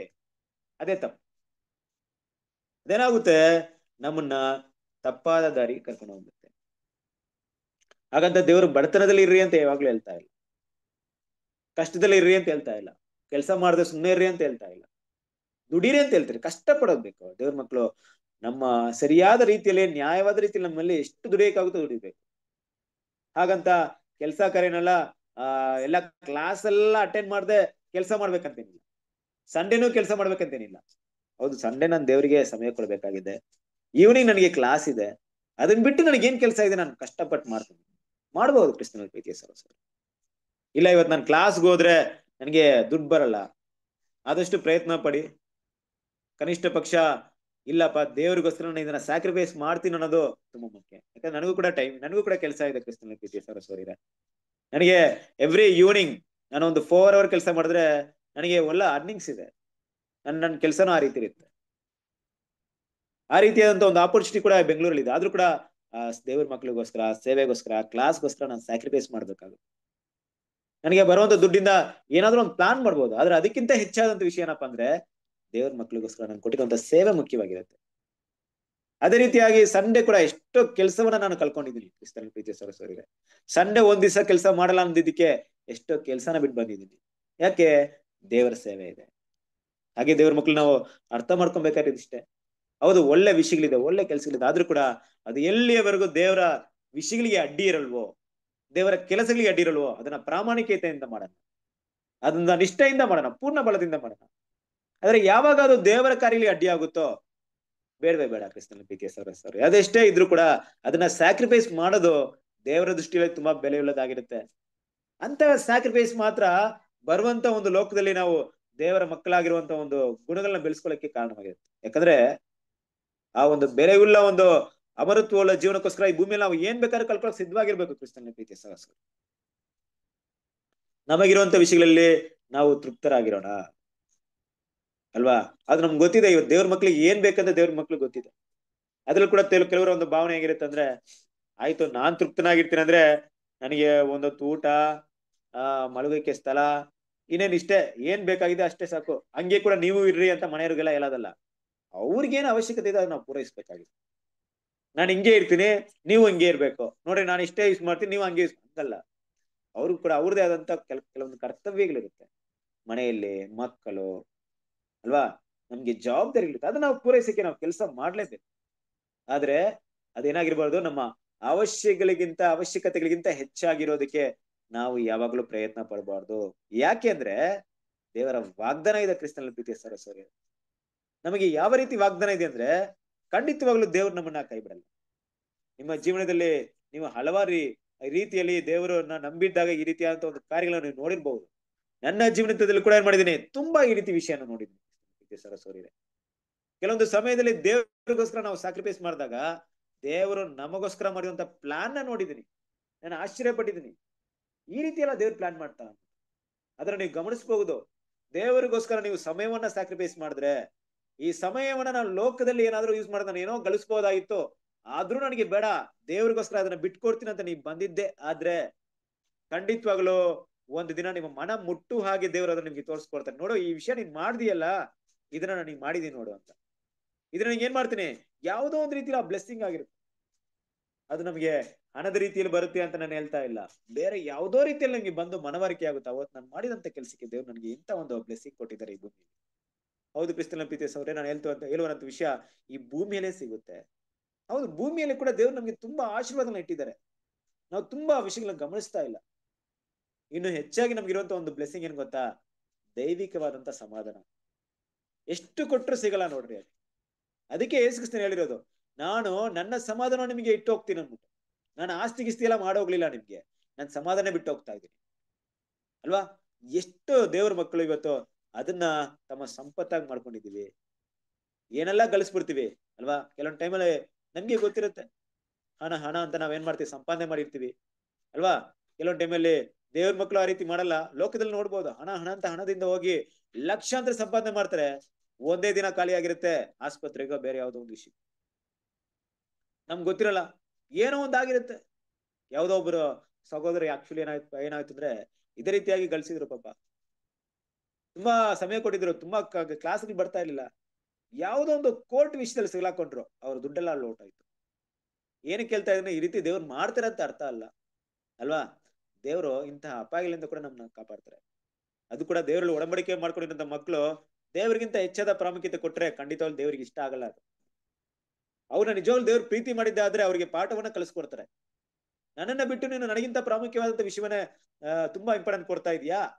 ಆ ವಿಷಯಗಳಿಂದ ನಿಮ್ಗೆ ಏನೆಲ್ಲ ಅಪಾಯ ಬರುತ್ತೆ ಅಂತ ತಿಳಿಸ್ಕೊಡ್ತೀನಿ ಅಂತ ದೇವ್ರು ಖಂಡಿತವಾಗಿ ತಿಳಿಸ್ಕೊಡ್ತಾರೆ. ಹೌದು ಕ್ರಿಸ್ತನ ಪ್ರೀತಿ ಸವರಿದೆ. ಈ ರೀತಿಯಾದಂತ ಘಟನೆಗಳು ಸತ್ಯವೇದಲ್ಲಿ ನಡೆದಿದೆ. ದೇವ್ರ ಮಕ್ಕಳನ್ನ ಪ್ರೀತಿಸುವವರಿಗೆ ಎಲ್ಲ ಕೂಡ ಒಳಿತಿಗೋಸ್ಕರ ನಡೆಯುತ್ತೆ ಅಂತ ನಾವು ಓದ್ತೀವಲ್ಲ? ಒಳಿತು ಅಂದ್ರೆ ದೇವ್ರ ಮಕ್ಳು ಏನ್ ತಿಳ್ಕೊಂಬಾರ್ದು? ಇವತ್ತು ಇವತ್ತು ನನ್ನ ಲೈಫಲ್ಲಿ ನಡೆಯೋದಲ್ಲ ಒಳ್ಳೇದೇ ನಡೆಯುತ್ತೆ ಅಂತ ಅರ್ಥ ಅಲ್ಲ. ಅದು ಕೊನೆಗೆ ಮಾತ್ರ ಒಳಿತು ಅನ್ನೋದು ಪದ ಅರ್ಥ ಅನ್ವಯವಾಗುತ್ತೆ. ಅಂದ್ರೆ ಈ ಭೂಮಿಯಲ್ಲಿ ನನಗೆ ದೇವರ ಒಂದು ಏನು ಆತನ ಒಂದು ಇದರಿಂದ ನಾನು ಕರೆಯಲ್ಪಟ್ಟಿದ್ದಂತ ಅಂತ ಇಟ್ಕೊಳ್ಳಿ. ಆತನ ಸಂಕಲ್ಪದ ಮೇರೆಗೆ ನಾನು ಕರೆಯಲ್ಪಟ್ಟಿದ್ದೀನಿ. ಆತನ ಚಿತ್ತದ ಮೇರೆಗೆ ಕರೆಯಲ್ಪಟ್ಟಿದ್ದೀನಿ. ನನಗೆ ಏನೇ ಬಂದರೂ ದೇವರ ಅನುಮತಿ ಪ್ರಕಾರ ಒಳ್ಳೇದು ನಡೆಯುತ್ತೆ ಅಂದ್ರೆ ನನಗೆ ಎಲ್ಲ ಆಶೀರ್ವಾದನೆ ಬರುತ್ತೆ. ಯಾವುದೇ ಕಷ್ಟಗಳು ಬರಲ್ಲ, ಯಾವುದೇ ರೋಗಗಳು ಬರಲ್ಲ ಅನ್ನೋಂತ ಅರ್ಥ ಅಲ್ಲ ಕ್ರಿಸ್ತನ ಪ್ರೀತಿ ಸೋರಿದೆ ಎಲ್ಲ ಕೂಡ ಬರುತ್ತೆ. ಕಷ್ಟನೂ ಬರುತ್ತೆ, ದುಃಖನೂ ಬರುತ್ತೆ, ಒಳ್ಳೇದು ಇರುತ್ತೆ, ಎಲ್ಲ ಇರುತ್ತೆ. ಆದ್ರೆ ಆ ಒಳಿತು ಅನ್ನೋಂತ ಒಂದು ಬ್ಲೆಸ್ಸಿಂಗ್ ಏನಪ್ಪಾ ಅಂದ್ರೆ ಅದು ಅಂತ್ಯದಲ್ಲಿ ಮಾತ್ರ. ಇದೆಲ್ಲ ನಮ್ಮ ಆ ಬ್ಲೆಸ್ಸಿಂಗ್ ಕಡೆಗೆ ನಡೆಸುತ್ತೆ. ಆ ಕ್ರಿಸ್ತನ ಮೊದಲಿಗಿತಿಯಾಗಿರೋ ಗುಣಗಳ ಕಡೆಗೆ ನಡೆಸುತ್ತೆ. ಆ ಒಂದು ದೊಡ್ಡ ಒಂದು ಗಿಫ್ಟ್ ನಮಗೆ ಏನ್ ಮಾಡುತ್ತೆ? ದೇವರ ಒಂದು ಮಹಾ ಉನ್ನತವಾದಂತ ಒಂದು ಪದವಿ ಒಂದು ಸ್ಥಳವನ್ನ, ಒಂದು ಅವಕಾಶವನ್ನ ನಮ್ಗೆ ದೊರಕಿಸಿಕೊಡುತ್ತೆ ಅನ್ನೋ ಅರ್ಥ ಬರುತ್ತೆ. ಆಗಿರ್ಬೇಕಾದ್ರೆ ದೇವ್ರ ಮಕ್ಕಳು, ಎಂತ ಸನ್ನಿವೇಶದಲ್ಲಿ ಕೂಡ ದೇವರಲ್ಲಿ ದೇವರಲ್ಲಿ ನಾವು ಥ್ಯಾಂಕ್ಸ್ ಅನ್ನ ಕಳಿಬೇಕು, ಕೃತಜ್ಞತ ಭಾವನೆಯುಳ್ಳವರಾಗಿರ್ಬೇಕು ಯಾವುದೇ ಸಂದರ್ಭದಲ್ಲೂ ದೇವ್ರು ಕೊಡ್ಲಿ, ಕೊಡದೇ ಇರ್ಲಿ. ಅದು ನಮ್ಮ ಹೃದಯದ ಒಳ್ಳೆ ಗುಣತೆ, ಗುಣವನ್ನ ತೋರಿಸ್ಕೊಡ್ತಾ ಇದೆ. ಕೆಲವೊಂದು ಟೈಮಲ್ಲಿ ಪರವಾಗಿಲ್ಲ, ಹಸಿದಿರೋಣ ಹಾಗಂತ ದೇವ್ರ ಮಕ್ಕಳನ್ನ ಇದುವರೆಗೂ ನಾನು ನಾನಂತೂ ನೋಡಿಲ್ಲ. ಹಸಿವೆಯಾಗಿ ನಾವು ಕಷ್ಟಪಡೋರು. ದೇವರು ಆ ರೀತಿ ಯಾರಿಗೂ ಬಿಡ್ತಾ ಇಲ್ಲ. ಆದ್ರೆ ದೇವ್ರ ಮಕ್ಕಳು ಏನ್ ಮಾಡಿದಾರೆ? ಸುವಾರ್ತೆ ಸೇವೆಗೋಸ್ಕರ ಹಸಿವೆಯಲ್ಲಿ ಇದ್ದಿದ್ದಾರೆ. ಊಟವಿಲ್ದೆ ಇದ್ದಿದ್ದಾರೆ. ನಿಮಗೂ ಕೂಡ ಕೆಲವೊಬ್ಬರಿಗೆ ಅನುಭವ ಆಗಿರ್ಬೋದು. ಊಟ ಇಲ್ದೆ ಕೆಲವೊಂದು ಸಮಯದಲ್ಲಿ. ಅಲ್ವಾ? ಆದ್ರೆ ದೇವ್ರು ನಿಮ್ಮನ್ನ ಹಾಗೆ ಬಿಟ್ಬಿಟ್ರ ಅಂದ್ರೆ ಹಾಗೆ ಬಿಡಲ್ಲ. ಮತ್ತೆ ಅಲ್ಲಿಂದ ಕರ್ಕೊಂಡ್ ಬರ್ತಾರೆ. ಪರವಾಗಿಲ್ಲ, ದೇವರ ಸೇವೆಗೋಸ್ಕರ ಅಂತ ಕಷ್ಟಗಳು ಅನುಭವಿಸೋದಿಂತ ಹೆಚ್ಚಾದ ಒಂದು ದೊಡ್ಡ ಒಂದು ಭಾಗ್ಯ, ಒಂದು ದೊಡ್ಡ ಒಂದು ಆಶೀರ್ವಾದ ನಮ್ಗೆ ಯಾವುದೂ ಇಲ್ಲ. ಈ ಭೂಮಿಯಲ್ಲಿ ನಾನು ಕೂಡ ದೇವ್ರಿಗೋಸ್ಕರ ಕಷ್ಟಪಟ್ನಪ್ಪ ಅಂತ ಹೇಳ್ಕೊಳ್ಳೋ ಒಂದು ರೀತಿ ನಡ್ಕೊಂಡ್ರೆ ಸಂತೋಷ ಅಲ್ವಾ ನಮ್ಗೆ? ಆ, ಅಪೋಸ್ತಲ್ ಪಾಲಿ ಎಷ್ಟೆಲ್ಲ ಕಷ್ಟಪಟ್ಟಿದ್ದಾರೆ. ಅಪೋಸ್ತಲ್ ನಮ್ಗೋಸ್ಕರ ಎಷ್ಟೆಲ್ಲ ಕಷ್ಟಪಟ್ಟಿದ್ದಾರೆ. ಮನೆ ಎಲ್ಲವನ್ನ ಬಿಟ್ಟು ಸುವಾರ್ತೆನ ಸಾರಿ ಎಷ್ಟೆಲ್ಲ ಕಷ್ಟಗಳನ್ನ ಅನುಭವಿಸಿದ ನೋಡ್ರಿ. ಅದ್ರಲ್ಲಿ ಸ್ವಲ್ಪ ಪಾಲಾದ್ರೂ ನಾವೇನಾದ್ರೂ ಅನುಭವಿಸಿದ್ರೆ ಸಂತೋಷ ಪಡೋಣ. ಕೆಲವೊಂದ್ ಟೈಮಲ್ಲಿ ನಮಗ, ನಮಗೆ ಇರುವುದ್ರಲ್ಲಿ ಏನ್ ಮಾಡೋಣ? ತೃಪ್ತರಾಗಿರೋದಕ್ಕೆ ಬೇಕು ಅದಕ್ಕೆ ತೃಪ್ತಿ ಅನ್ನುವಂತ ಒಂದು ಭಾವನೆನ ದೇವ್ರ ಮಕ್ಕಳು ಅರ್ಥ ಮಾಡ್ತಾರೆ ಹಲವಾರು ಸಮಯದಲ್ಲಿ ಈ ತೃಪ್ತಿನ ನಾವು ಅರ್ಥ ಮಾಡ್ಕೊಳ್ಳಲ್ಲ. ತೃಪ್ತಿ ಅನ್ನುವಂತ ವಿಷಯ ಯಾವಾಗಲೂ ಎಲ್ಲಿ ಅನ್ವಯ ಮಾಡ್ಬೇಕಂದ್ರೆ ಈ ಲೋಕಕ್ಕೆ ಸಂಬಂಧಪಟ್ಟಂತ ನಮ್ಮ ಅವಶ್ಯಕತೆಗಳಲ್ಲಿ ತೃಪ್ತಿ ಅನ್ನೋಂಥ ವಿಷಯನ ಅಪ್ಲೈ ಮಾಡ್ಬೇಕು. ಕಂಟೆಂಟ್ ಸಂತೃಪ್ತಿ. ಈ ಲೋಕದಲ್ಲಿ ಇರುವಂತ ವಿಷಯಗಳನ್ನ ಅನುಭವಿಸುವಂತ ವಿಷಯಗಳಾಗಿರ್ಬೋದು, ಈ ಲೋಕದಲ್ಲಿ ಇರುವಂತ ವಿಷಯಗಳಿಗೆ ತಮ್ಮ ಶರೀರಕ್ಕೆ ಪ್ರತಿನಿತ್ಯ ಪೂರೈಕೆ ಮಾಡುವಂತ ವಿಷಯಗಳಿರ್ಬೋದು, ಅದರಲ್ಲಿ ತೃಪ್ತಿ ಅನ್ನೋಂಥ ಭಾವನೆ ಇರ್ಬೇಕು. ಅಲ್ವಾ? ಆದ್ರೆ ದೈವಿಕ ವಿಷಯಗಳಲ್ಲಿ ಯಾವಾಗ್ಲೂ ತೃಪ್ತಿ ಆಗ್ಬಾರ್ದು. ಸಾಕಪ್ಪ ಕ್ಲಾಸು ವಾ ತುಂಬಾ ಕೇಳ್ಬಿಟ್ಟೆ. ಸಾಕಪ್ಪ, ತುಂಬಾ ಓದ್ಬಿಟ್ಟೆ. ಸಾಕು ಇಷ್ಟು, ನಾನು ಇಷ್ಟು ದೇವ್ರಿಗೋಸ್ಕರ ಓದ್ಬಿಟ್ಟೆ. ತುಂಬಾ ಸೇವೆ ಮಾಡ್ಬಿಟ್ಟೆ ಇಲ್ಲಿಗೆ ನಿಲ್ಸನ. ಆ ರೀತಿ ತೃಪ್ತಿ ಯಾವಾಗ್ಲೂ ಇರ್ಬಾರ್ದು ದೇವ್ರ ದೈವಿಕ ವಿಷಯಗಳಲ್ಲಿ ನಮ್ಗೆ ಯಾವಾಗ್ಲೂ ತೃಪ್ತಿ ಆಗ್ಬಾರ್ದು. ಪ್ರತಿದಿನ, ಅಯ್ಯೋ, ಇನ್ನೂ ಮಾಡಿಲ್ಲ ನಾನು, ಇನ್ನೂ ಮಾಡ್ಬೇಕು. ನಾನು ತೃಪ್ತಿ ಆಗ್ತೀನಿ ಇನ್ನೂ ದೇವ್ರಿಗೋಸ್ಕರ ಸೇವೆ ಮಾಡ್ಬೇಕು. ಇನ್ನೂ ಸ್ಟಡಿ ಮಾಡ್ಬೇಕು. ಇನ್ನೂ ಓದ್ಬೇಕು. ಈ ರೀತಿಯಾದಂತ ಒಂದು ದಾಹ ಇರಬೇಕು ದೇವರಿಗೆ, ದೈವಿಕ ವಿಷಯದಲ್ಲಿ. ಆದ್ರೆ ಲೋಕಕ್ಕೆ ಸಂಬಂಧಪಟ್ಟಂತ ವಿಷಯದಲ್ಲಿ ತೃಪ್ತರಾಗಿರೋಣ. ಕ್ರಿಸ್ತನ ಪ್ರೀತಿಯ ಸರ್ವಸರು ಇದು ಏನಪ್ಪ ಇದೆರಡಕ್ಕೂ ಒಂದು ಒಳ್ಳೆ ಡಿಫ್ರೆನ್ಸ್ ಇದೆ ಅಂದ್ರೆ, ಯಾವಾಗ ನೀವು ಲೋಕದ ವಿಷಯದಲ್ಲಿ ತೃಪ್ತಿ ಆಗಲ್ವೋ ಆಗ ದೈವಿಕ ವಿಷಯಗಳ ತೃಪ್ತಿ ಆಗ್ಬಿಡ್ತೀರಾ ಆದ್ರೆ ಅದನ್ನ ಲಿಮಿಟ್ ಮಾಡ್ಬಿಡ್ತೀರಾ ಸಾಕು ಇಷ್ಟೇ ಅನ್ಬಿಟ್ಟು ಯಾಕಂದ್ರೆ ನಿಮ್ಗೆ ಲೋಕದ ವಿಷಯ ತೃಪ್ತಿ ಆಗ್ತಿಲ್ವಲ್ಲ, ಅದನ್ನ ಇನ್ನೂ ಮಾಡ್ಬೇಕು ತುಂಬಾ ಸಮಯ ನಿಮ್ಗೆ ಬೇಕಾಗುತ್ತೆ. ಆದ್ರೆ ಯಾವಾಗ ನೀವು ಲೋಕದ ವಿಷಯದಲ್ಲಿ ತೃಪ್ತಿ ಆಗ್ಬಿಡ್ತಿರೋ ದೈವಿಕ ವಿಷಯದಲ್ಲಿ ತೃಪ್ತಿ ಆಗಲ್ಲ. ನೀವು ಇದನ್ನ ಇತಿಮಿತಿ ಮಾಡ್ಕೊಳ್ತೀರಾ, ಇದನ್ನ ಲಿಮಿಟ್ ಮಾಡ್ಕೊಳ್ತೀರಾ, ಇಷ್ಟೇ ಸಾಕು. ಇಲ್ಲಿಗೆ ಒಂದು ಬಾರ್ಡರ್ ಹಾಕೊಂತೀರಾ, ಹಿಂಗೆ ಇರ್ತೀನಿ ನಾನು, ಇಷ್ಟೇ ನನಗೆ ಬೇಕಾಗಿರೋದು, ಇಷ್ಟೇ ಅವಶ್ಯಕತೆ. ಮಿಕ್ಕಿದೆಲ್ಲ ದೇವರಿಗೋಸ್ಕರ ಸಮಯ ಕೊಡ್ಬೇಕು ನನ್ನ ಟೈಮ್ ದೇವ್ರಿಗೋಸ್ಕರ, ನನ್ನ ಹಣ ದೇವ್ರಿಗೋಸ್ಕರ, ನನ್ನ ಬಲ ದೇವರಿಗೋಸ್ಕರ, ನನ್ನ ಜ್ಞಾನ ದೇವರಿಗೋಸ್ಕರ, ನನ್ನ ಇನ್ಫ್ಲೂಯೆನ್ಸ್ ದೇವ್ರಿಗೋಸ್ಕರ ಈ ರೀತಿಯಾಗಿ ಎಲ್ಲವನ್ನ ಪ್ಲಾನ್ ಮಾಡ್ಕೊಳ್ತೀವಿ ನಾವು. ಎಲ್ಲವನ್ನ ದೇವರಿಗೆ ಸಮರ್ಪಣೆ ಮಾಡ್ತೀವಿ. ಇಲ್ಲದಿದ್ರೆ ನಮ್ಮ ಎಲ್ಲ ಟ್ಯಾಲೆಂಟ್ ಕೂಡ ಎಲ್ಲಿ ಯೂಸ್ ಆಗುತ್ತಂದ್ರೆ, ಈ ಸಂತೃಪ್ತಿ ಇಲ್ಲದೆ ಇರುವಂತಹ ಲೋಕದ ವಿಷಯಗಳಲ್ಲಿ ಉಪಯೋಗವಾಗುತ್ತೆ. ಅದರಿಂದ ದೇವ್ರ ಮಕ್ಕಳು ಈ ತೃಪ್ತಿ ಭಾವನೆ ನಮ್ಗೆ ತುಂಬಾ ಮುಖ್ಯ. ಯಾಕಂದ್ರೆ ದೇವ್ರು ಹೇಳಿದಂತ ಮಾತನ್ನ ಗಮನಿಸಿ ನೋಡ್ರಿ. ನಾನು ನಿಮ್ಮನ್ನ ಯಾವಾಗ್ಲೂ ಕೈ ಬಿಡಲ್ಲ. ಯಾವುದೇ ಸನ್ನಿವೇಶ ನಿಮ್ಮನ್ನ ತೊರೆದು ಬಿಡಲ್ಲ. ಅಂದ್ರೆ ನಮ್ಗೆ ಬೇಕಾದ್ರೆ ನಮ್ಗೆ ಕೊರತೆಗಳಿರ್ಬೋದು ಕ್ರಿಸ್ತಲ ಪ್ರೀತಿ ಸರಸ್ವರೇನೆ ಹಾಗಂತ ದೇವ್ರು ನಮ್ಮನ್ನ ಕೈ ಬಿಟ್ಟಿದ್ದಾರೆ ಅಂತ ಅರ್ಥ ಅಲ್ಲ. ನಮ್ ಜೊತೆಗಿರ್ತಾರೆ ಕೆಲವೊಂದು ಪಾಠಗಳನ್ನು ಕೂಡ ಅಲ್ಲಿ ಕಳಿಸ್ಕೊಡ್ಬೋದು ಅಲ್ವಾ? ಆಗಿರೋದ್ರಿಂದ ದೇವ್ರ ಮಕ್ಕಳು ನಮ್ಮಲ್ಲಿ ಏನಿದೆಯೋ ಅದರಲ್ಲಿ ಸಂತೃಪ್ತಿ ಆಗಿರೋದಕ್ಕೆ ಪ್ರಯತ್ನ ಪಡೋಣ. ಎಷ್ಟು ಜನ ಇವತ್ತು ನಾವು ನಮ್ಗೇನ್ ದೇವ್ರು ಸಿಕ್ಕಿದೆ ಅನ್ನೋದು ವಿಷಯದಲ್ಲಿ ದೇವ್ರಿಗೆ ಥ್ಯಾಂಕ್ಸ್ ಹೇಳ್ತಾ ಇದೀವಿ ನನಗೆ ಯಾಕೆ ಇದಿಲ್ಲ ಅಂತ ಎಷ್ಟು ಜನ ಕೊರಗ್ತಾ ಇದೀವಿ ಯೋಚನೆ ಮಾಡಿ ನೋಡೋಣ. ಎಲ್ಲಕ್ಕಿಂತ ಹೆಚ್ಚಾಗಿ ಒಂದು ವಿಷಯವನ್ನು ಅರ್ಥ ಮಾಡ್ಕೊಳ್ಳಿ. ನಮಗೆ ಕೇಳುವಂತ ಕಿವಿ, ನೋಡುವಂತ ಕಣ್ಣು ಮಾತಾಡುವಂತ ಬಾಯಿನ ದೇವರು ಕೊಟ್ಟಿದ್ದಾರೆ. ನಮ್ಮ ದೇಹದಲ್ಲಿ ಹಲವಾರು ಬಲಹೀನತೆಲಿರ್ಬೋದು ಅದನ್ನ ಕೊರಗೋಕ್ಕಿಂತ ಹೆಚ್ಚಾಗಿ ಇವತ್ತು ದೇವರ ವಾಕ್ಯನ ಕೇಳೋದಕ್ಕೆ ದೇವ್ರು ನನಗೆ ಕಿವಿ ಕೊಟ್ಟಿದ್ರ?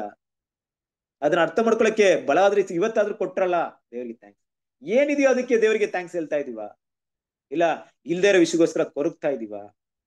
ಆ ಸಂತೃಪ್ತಿ ನಿಜವಾಗ್ಲೂ ನಮ್ಮ ಹತ್ರ ಇದೆಯಾ? ಇಲ್ಲ, ಸಂತೃಪ್ತಿ ಇಲ್ದೇ ಇರುವಂತ ಗುಣಗಳನ್ನ ಇನ್ನು ಬೆಳೆಸ್ಕೊಂಡಿದೀವ ಕ್ರಿಸ್ತನಲ್ಲಿ ಪ್ರೀತಿಯ ಸರಸ್ವರಿರೇ ನಮ್ಮನ್ನ ನಾವು ಪರಿಶೀಲನೆ ಯಾಕಂದ್ರೆ ಈ ಲೋಕದ ವಿಷಯಗಳು ಅದರಲ್ಲಿರುವಂತ ಎಲ್ಲವೂ ಕೂಡ ಗತಿಸಿ ಹೋಗುವುದು ಅಂತ ನಾವು ಓದ್ತಾ ಇದೀವಿ. ನೋಡ್ಕೊಳ್ರಿ ಪ್ರಪಂಚನ ಹಾಗೆ ನೋಡ್ರಿ. ಅಲ್ವಾ? ಯಾವತ್ತ ನಮ್ ಬೆಂಗಳೂರು ಕಡೆ ಬಂದಾಗ ನಾನು ದಿನ ಓಡಾಡ್ತಾ ಇರ್ತೀನಿ.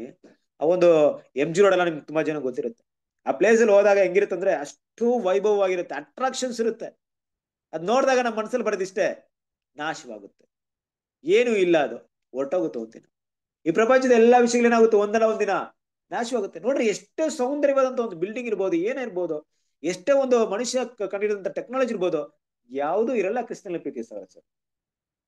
ದೇವರ ರಾಜ್ಯದಲ್ಲಿ ಮನುಷ್ಯ ನಿರ್ಮಿತವಾದಂತ ಯಾವುದೇ ವಿಷಯವನ್ನ ದೇವರಲ್ಲಿ ಉಪಯೋಗ ಮಾಡಲ್ಲ. ನಾ ತಿಳ್ಕೊಂಬಾರ್ದು, ಇಲ್ಲಿರುವಂತ ಟೆಕ್ನಾಲಜಿ ಎಲ್ಲ ತಗೊಂಡ್ಬಂದು ದೇವರ ಹಂಗೆ ಯೂಸ್ ಮಾಡ್ತಾರೆ. ದೇವರ ಒಂದು ಸಂಪೂರ್ಣ ಬೆಳವಣಿಗೆ ಇರೋ ರಾಜ್ಯದಲ್ಲಿ ದೇವರು ಮನುಷ್ಯರ ಜ್ಞಾನದಿಂದ ಉಂಟಾದಂತ ಈ ಟೆಕ್ನಾಲಜಿನ ನಾಶ ಮಾಡ್ತಾರೆ. ಇಲ್ಲಿರುವಂತ ಆಡಂಬರ ವಿಷಯಗಳನ್ನ ನಾಶ ಮಾಡ್ತಾರೆ. ಅದೆಲ್ಲ ಯಾವುದಲ್ಲಿ ನಿಷ್ಪ್ರಯೋಜನವಾಗುತ್ತೆ? ಅದರಿಂದ ಆ ಲೋಕಕ್ಕೆ ತಕ್ಕಂತ ಗುಣಗಳನ್ನ ಬೆಳೆಸ್ಕೊಳ್ಳಕ್ಕೆ ಪ್ರತಿದಿನ ನಾವು ಪ್ರಯತ್ನ ಪಡೋಣ. ಅಲ್ವಾ? ಬೆಲೆ ಇಲ್ಲಂತ ಒಂದು ಮುತ್ತುಗಳಾಗಿ ನಾವು ಮಾಡೋದಕ್ಕೆ ನಮ್ಮನ್ನ ದೇವರು ಪ್ಲಾನ್ ಮಾಡ್ತಾ ಇದ್ದಾರೆ. ನಮ್ಮನ್ನ ಸಂಪತ್ತಾಗಿ ಮಾಡೋದಕ್ಕೆ ಪ್ಲಾನ್ ಮಾಡ್ತಾ ಇದ್ದಾರೆ. ಬದಲಾಗಿ ನಾವು ಸಂಪತ್ನ ಹುಡುಕ್ತಾ ಇದೀವಿ ಇವತ್ತು. ಇವತ್ತೇನು ಆಗ್ತಿದ್ವಿ?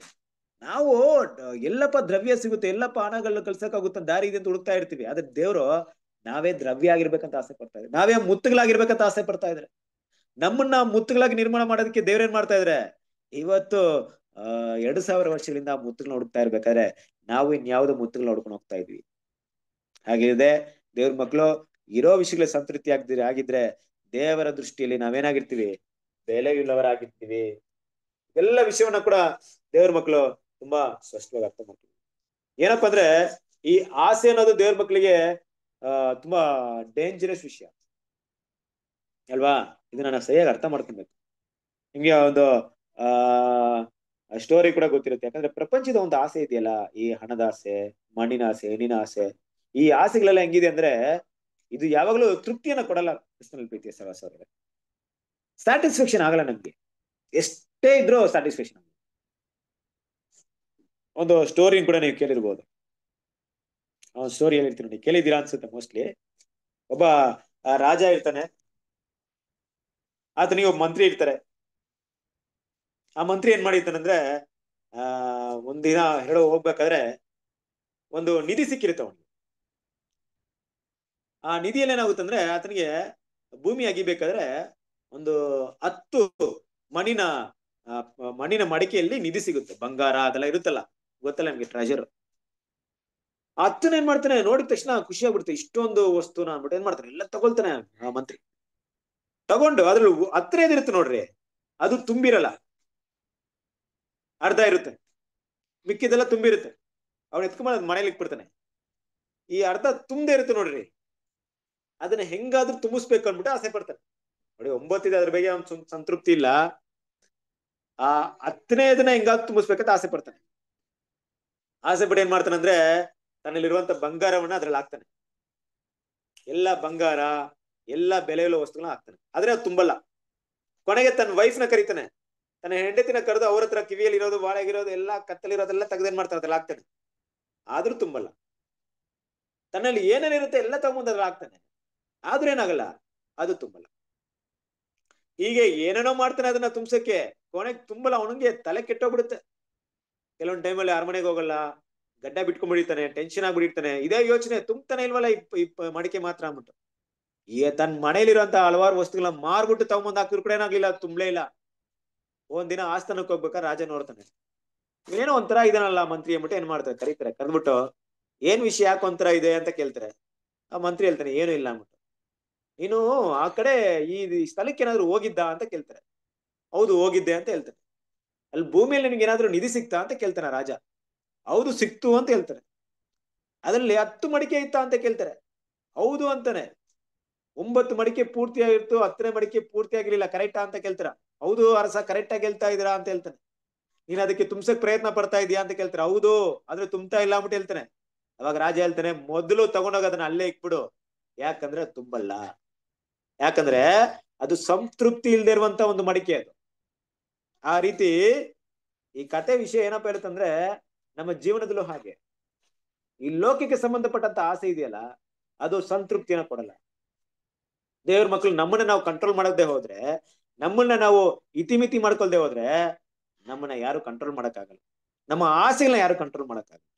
ಇವತ್ತು ದೇವ್ರ ಮಕ್ಕಳು ದೇವರ ಸತ್ಯದಲ್ಲಿ ನಮಗಿರುವಂತ ದೊಡ್ಡ ಒಂದು ಸಂತೃಪ್ತಿಯೇ ದೇವರ ಸತ್ಯ, ಸಹೋದರ ಐಕ್ಯ, ದೇವ್ರು ಕೊಟ್ಟಿರುವಂತ ವಾಗ್ದಾನಗಳು ಇದ್ರಲ್ಲಿ ನಾವು ಹೆಚ್ಚಾಗಿ ಏನಾಗಿರ್ಬೇಕು? ತೃಪ್ತ ಆಗಿರ್ಬೇಕು ಮುಂದೆ ಬರುವಂತ ದಿನಗಳಲ್ಲಿ ಇನ್ನು ಭಯಂಕರವಾದ ವಿಷಯಗಳು ನಡೀತಾ ಇದೆ ಕೃಷ್ಣ ಸಹೋದರ ಸೌರ್ಯ ನಾವು ಈಗಾಗಲೇ, ಆ, ನಾವು ಮೂರನೇ ವ್ಯಾಲಿ ಮೇಲೆ ನೋಡಿದೀವಲ್ವಾ? ಎಷ್ಟು ಜನರು ಏನ್ ಮಾಡಿದ್ರು? ಆಸ್ತಿನೆಲ್ಲ ಮಾಡ್ಬಿಟ್ಟು ಬಂದ್ರು, ಎರಡನೇ ಬರುವಿಕೆಗೋಸ್ಕರ ಮಾರಿದ್ರು. ಆದ್ರೆ ಅವ್ರ ಸತ್ಯ ಗೊತ್ತಿರ್ಲಿಲ್ಲ. ಇವತ್ತು ನಮ್ ಸತ್ಯ ಗೊತ್ತಿದೆ. ನಾವು ಕೊನೆ ಕಾಲದಲ್ಲಿ ಇದೀವಿ ಕೊನೆ ಸಮಯದಲ್ಲಿ ಇದೀವಿ ನಮ್ಮ ಜೀವನವನ್ನ ಏನ್ ಮಾಡೋಣ?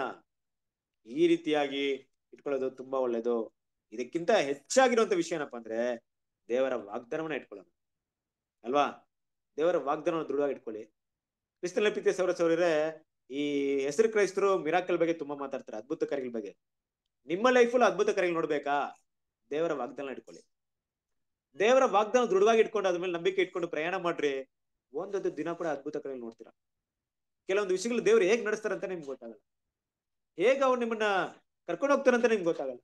ಕೆಲವೊಂದು ಕಷ್ಟವಾದ ಸನ್ನಿವೇಶ ನೀವು ದಾಟಿರ್ತೀರಾ, ಆದ್ರೂ ಹೇಗೆ ದಾಟಿದ್ದೀರಾ ಅಂತ ಗೊತ್ತಾಗಲ್ಲ.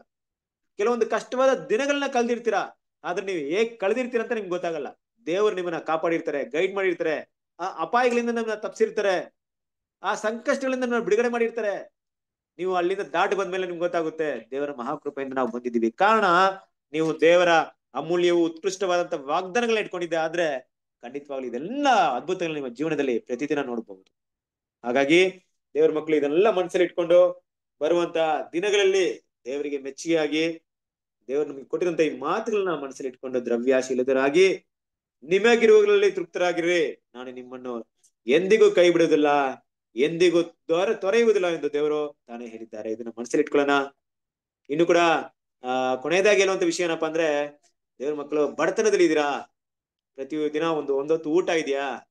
ಹಾಕೊಳ್ಳೋಂತ ಬಟ್ಟೆ ಇದೆಯಾ? ಹೇಗೋ ಲೈಫ್ ಲೀಡ್ ಮಾಡ್ತಾ ಇದೀವಾ? ಸಂತೋಷವಾಗಿರ್ರಿ.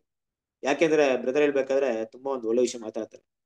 ನಾವೆಷ್ಟು ಬಡತನ ಇರ್ತೀವೋ ಅಷ್ಟು ಬೇಗ ಕ್ರಿಸ್ತನ ಒಂದು, ನಮ್ಗೆ ಎಷ್ಟು ಇರೋದ್ರಲ್ಲಿ ಸಂತೃಪ್ತಿ ಆಗಿರ್ತೀವೋ ಅಷ್ಟು ಬೇಗ ಕ್ರಿಸ್ತನ ಸಾರೂಪ್ಯತೆ ಬೆಳೆಯೋದಕ್ಕೆ ತುಂಬಾ ಅನುಕೂಲವಾಗುತ್ತೆ. ಇಲ್ಲದಿದ್ರೆ ಏನಾಗುತ್ತಂದ್ರೆ ಸಾಕಷ್ಟು ಸಂಕಟಗಳನ್ನ ಸಿಕ್ಕಾಕೊಳ್ತೀವಿ. ನಮ್ಮ ಬಡತನದ ಭಾವನೆ ಇರ್ಬೇಕು. ಅಲ್ವಾ? ಇನ್ನು ಕೂಡ ಕೆಲವರಿಗೆ ಹೆಂಗಿರುತ್ತೆ ಅಂದ್ರೆ ಮೈಂಡ್ ಅಲ್ಲಿ ತುಂಬಾ ಬಡತನದಲ್ಲಿ ಇರ್ತಾರೆ. ಅಂದ್ರೆ ಅವ್ರಿಗೆ ಯಾವುದೇ ಆಸೆ ಇರಲ್ಲ. ಹೊರನೋಟಿಗೆ ಅವ್ರಿಗೆ ಏನೋ ಇದ್ರು ಅದೆಲ್ಲ ಅವ್ರು ಕೇರ್ ಮಾಡಲ್ಲ. ಕೆಲವ್ರು ಏನೂ ಇರಲ್ಲ. ಆದ್ರೂ ಮೈಂಡ್ ಅಲ್ಲಿ ಶ್ರೀಮಂತಿಗೆ ಆಗೋದಕ್ಕೆ ತುಂಬಾ ಪ್ರಯತ್ನ ಪಡ್ತಾ ಇರ್ತಾರೆ. ಅದು ಬೇಡ. ನಮ್ಮ ನಿಜ ಜೀವನದಲ್ಲಿ ಮನಸ್ಸಿನ ಭಾವನೆಯಲ್ಲಿ ಸಂತೃಪ್ತಿ ಅನ್ನುವಂಥ ಭಾವನೆ ಬೆಳೆಸೋದು ತುಂಬಾ ಒಳ್ಳೇದಾಗಿರುತ್ತೆ ಇನ್ನು ಬರುವಂತ ದಿನಗಳಲ್ಲಿ ಉಳಿದಿರುವಂತ ಭಾಗಗಳನ್ನ ನೋಡೋಣ. ಇಲ್ಲಿವರೆಗೆ ನೋಡುವುದಕ್ಕೆ ಕೃಪೆ ಮಾಡಿದಂತ ತಂದೆ ದೇವರಿಗೆ ಕೃತಜ್ಞತೆ ಸಲ್ಲಿಸ್ತೇನೆ ತಾಳ್ಮೆಯಿಂದ ಕೇಳಿದ ನಿಮಗೂ ಕೃತಜ್ಞತೆ ಸಲ್ಲಿಸ್ತೇನೆ ದೇವರ ಪಾಠಗಳನ್ನ ಆಶೀರ್ವದಿಸಲಿ. ಆಮೇಲೆ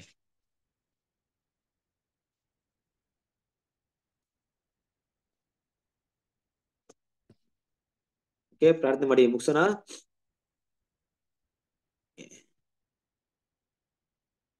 ವಯಸ್ಸರಾಜ್ ಬಿಡ್ರೆ, ಪ್ರಾರ್ಥನೆ ಮಾಡ್ತೀರಾ?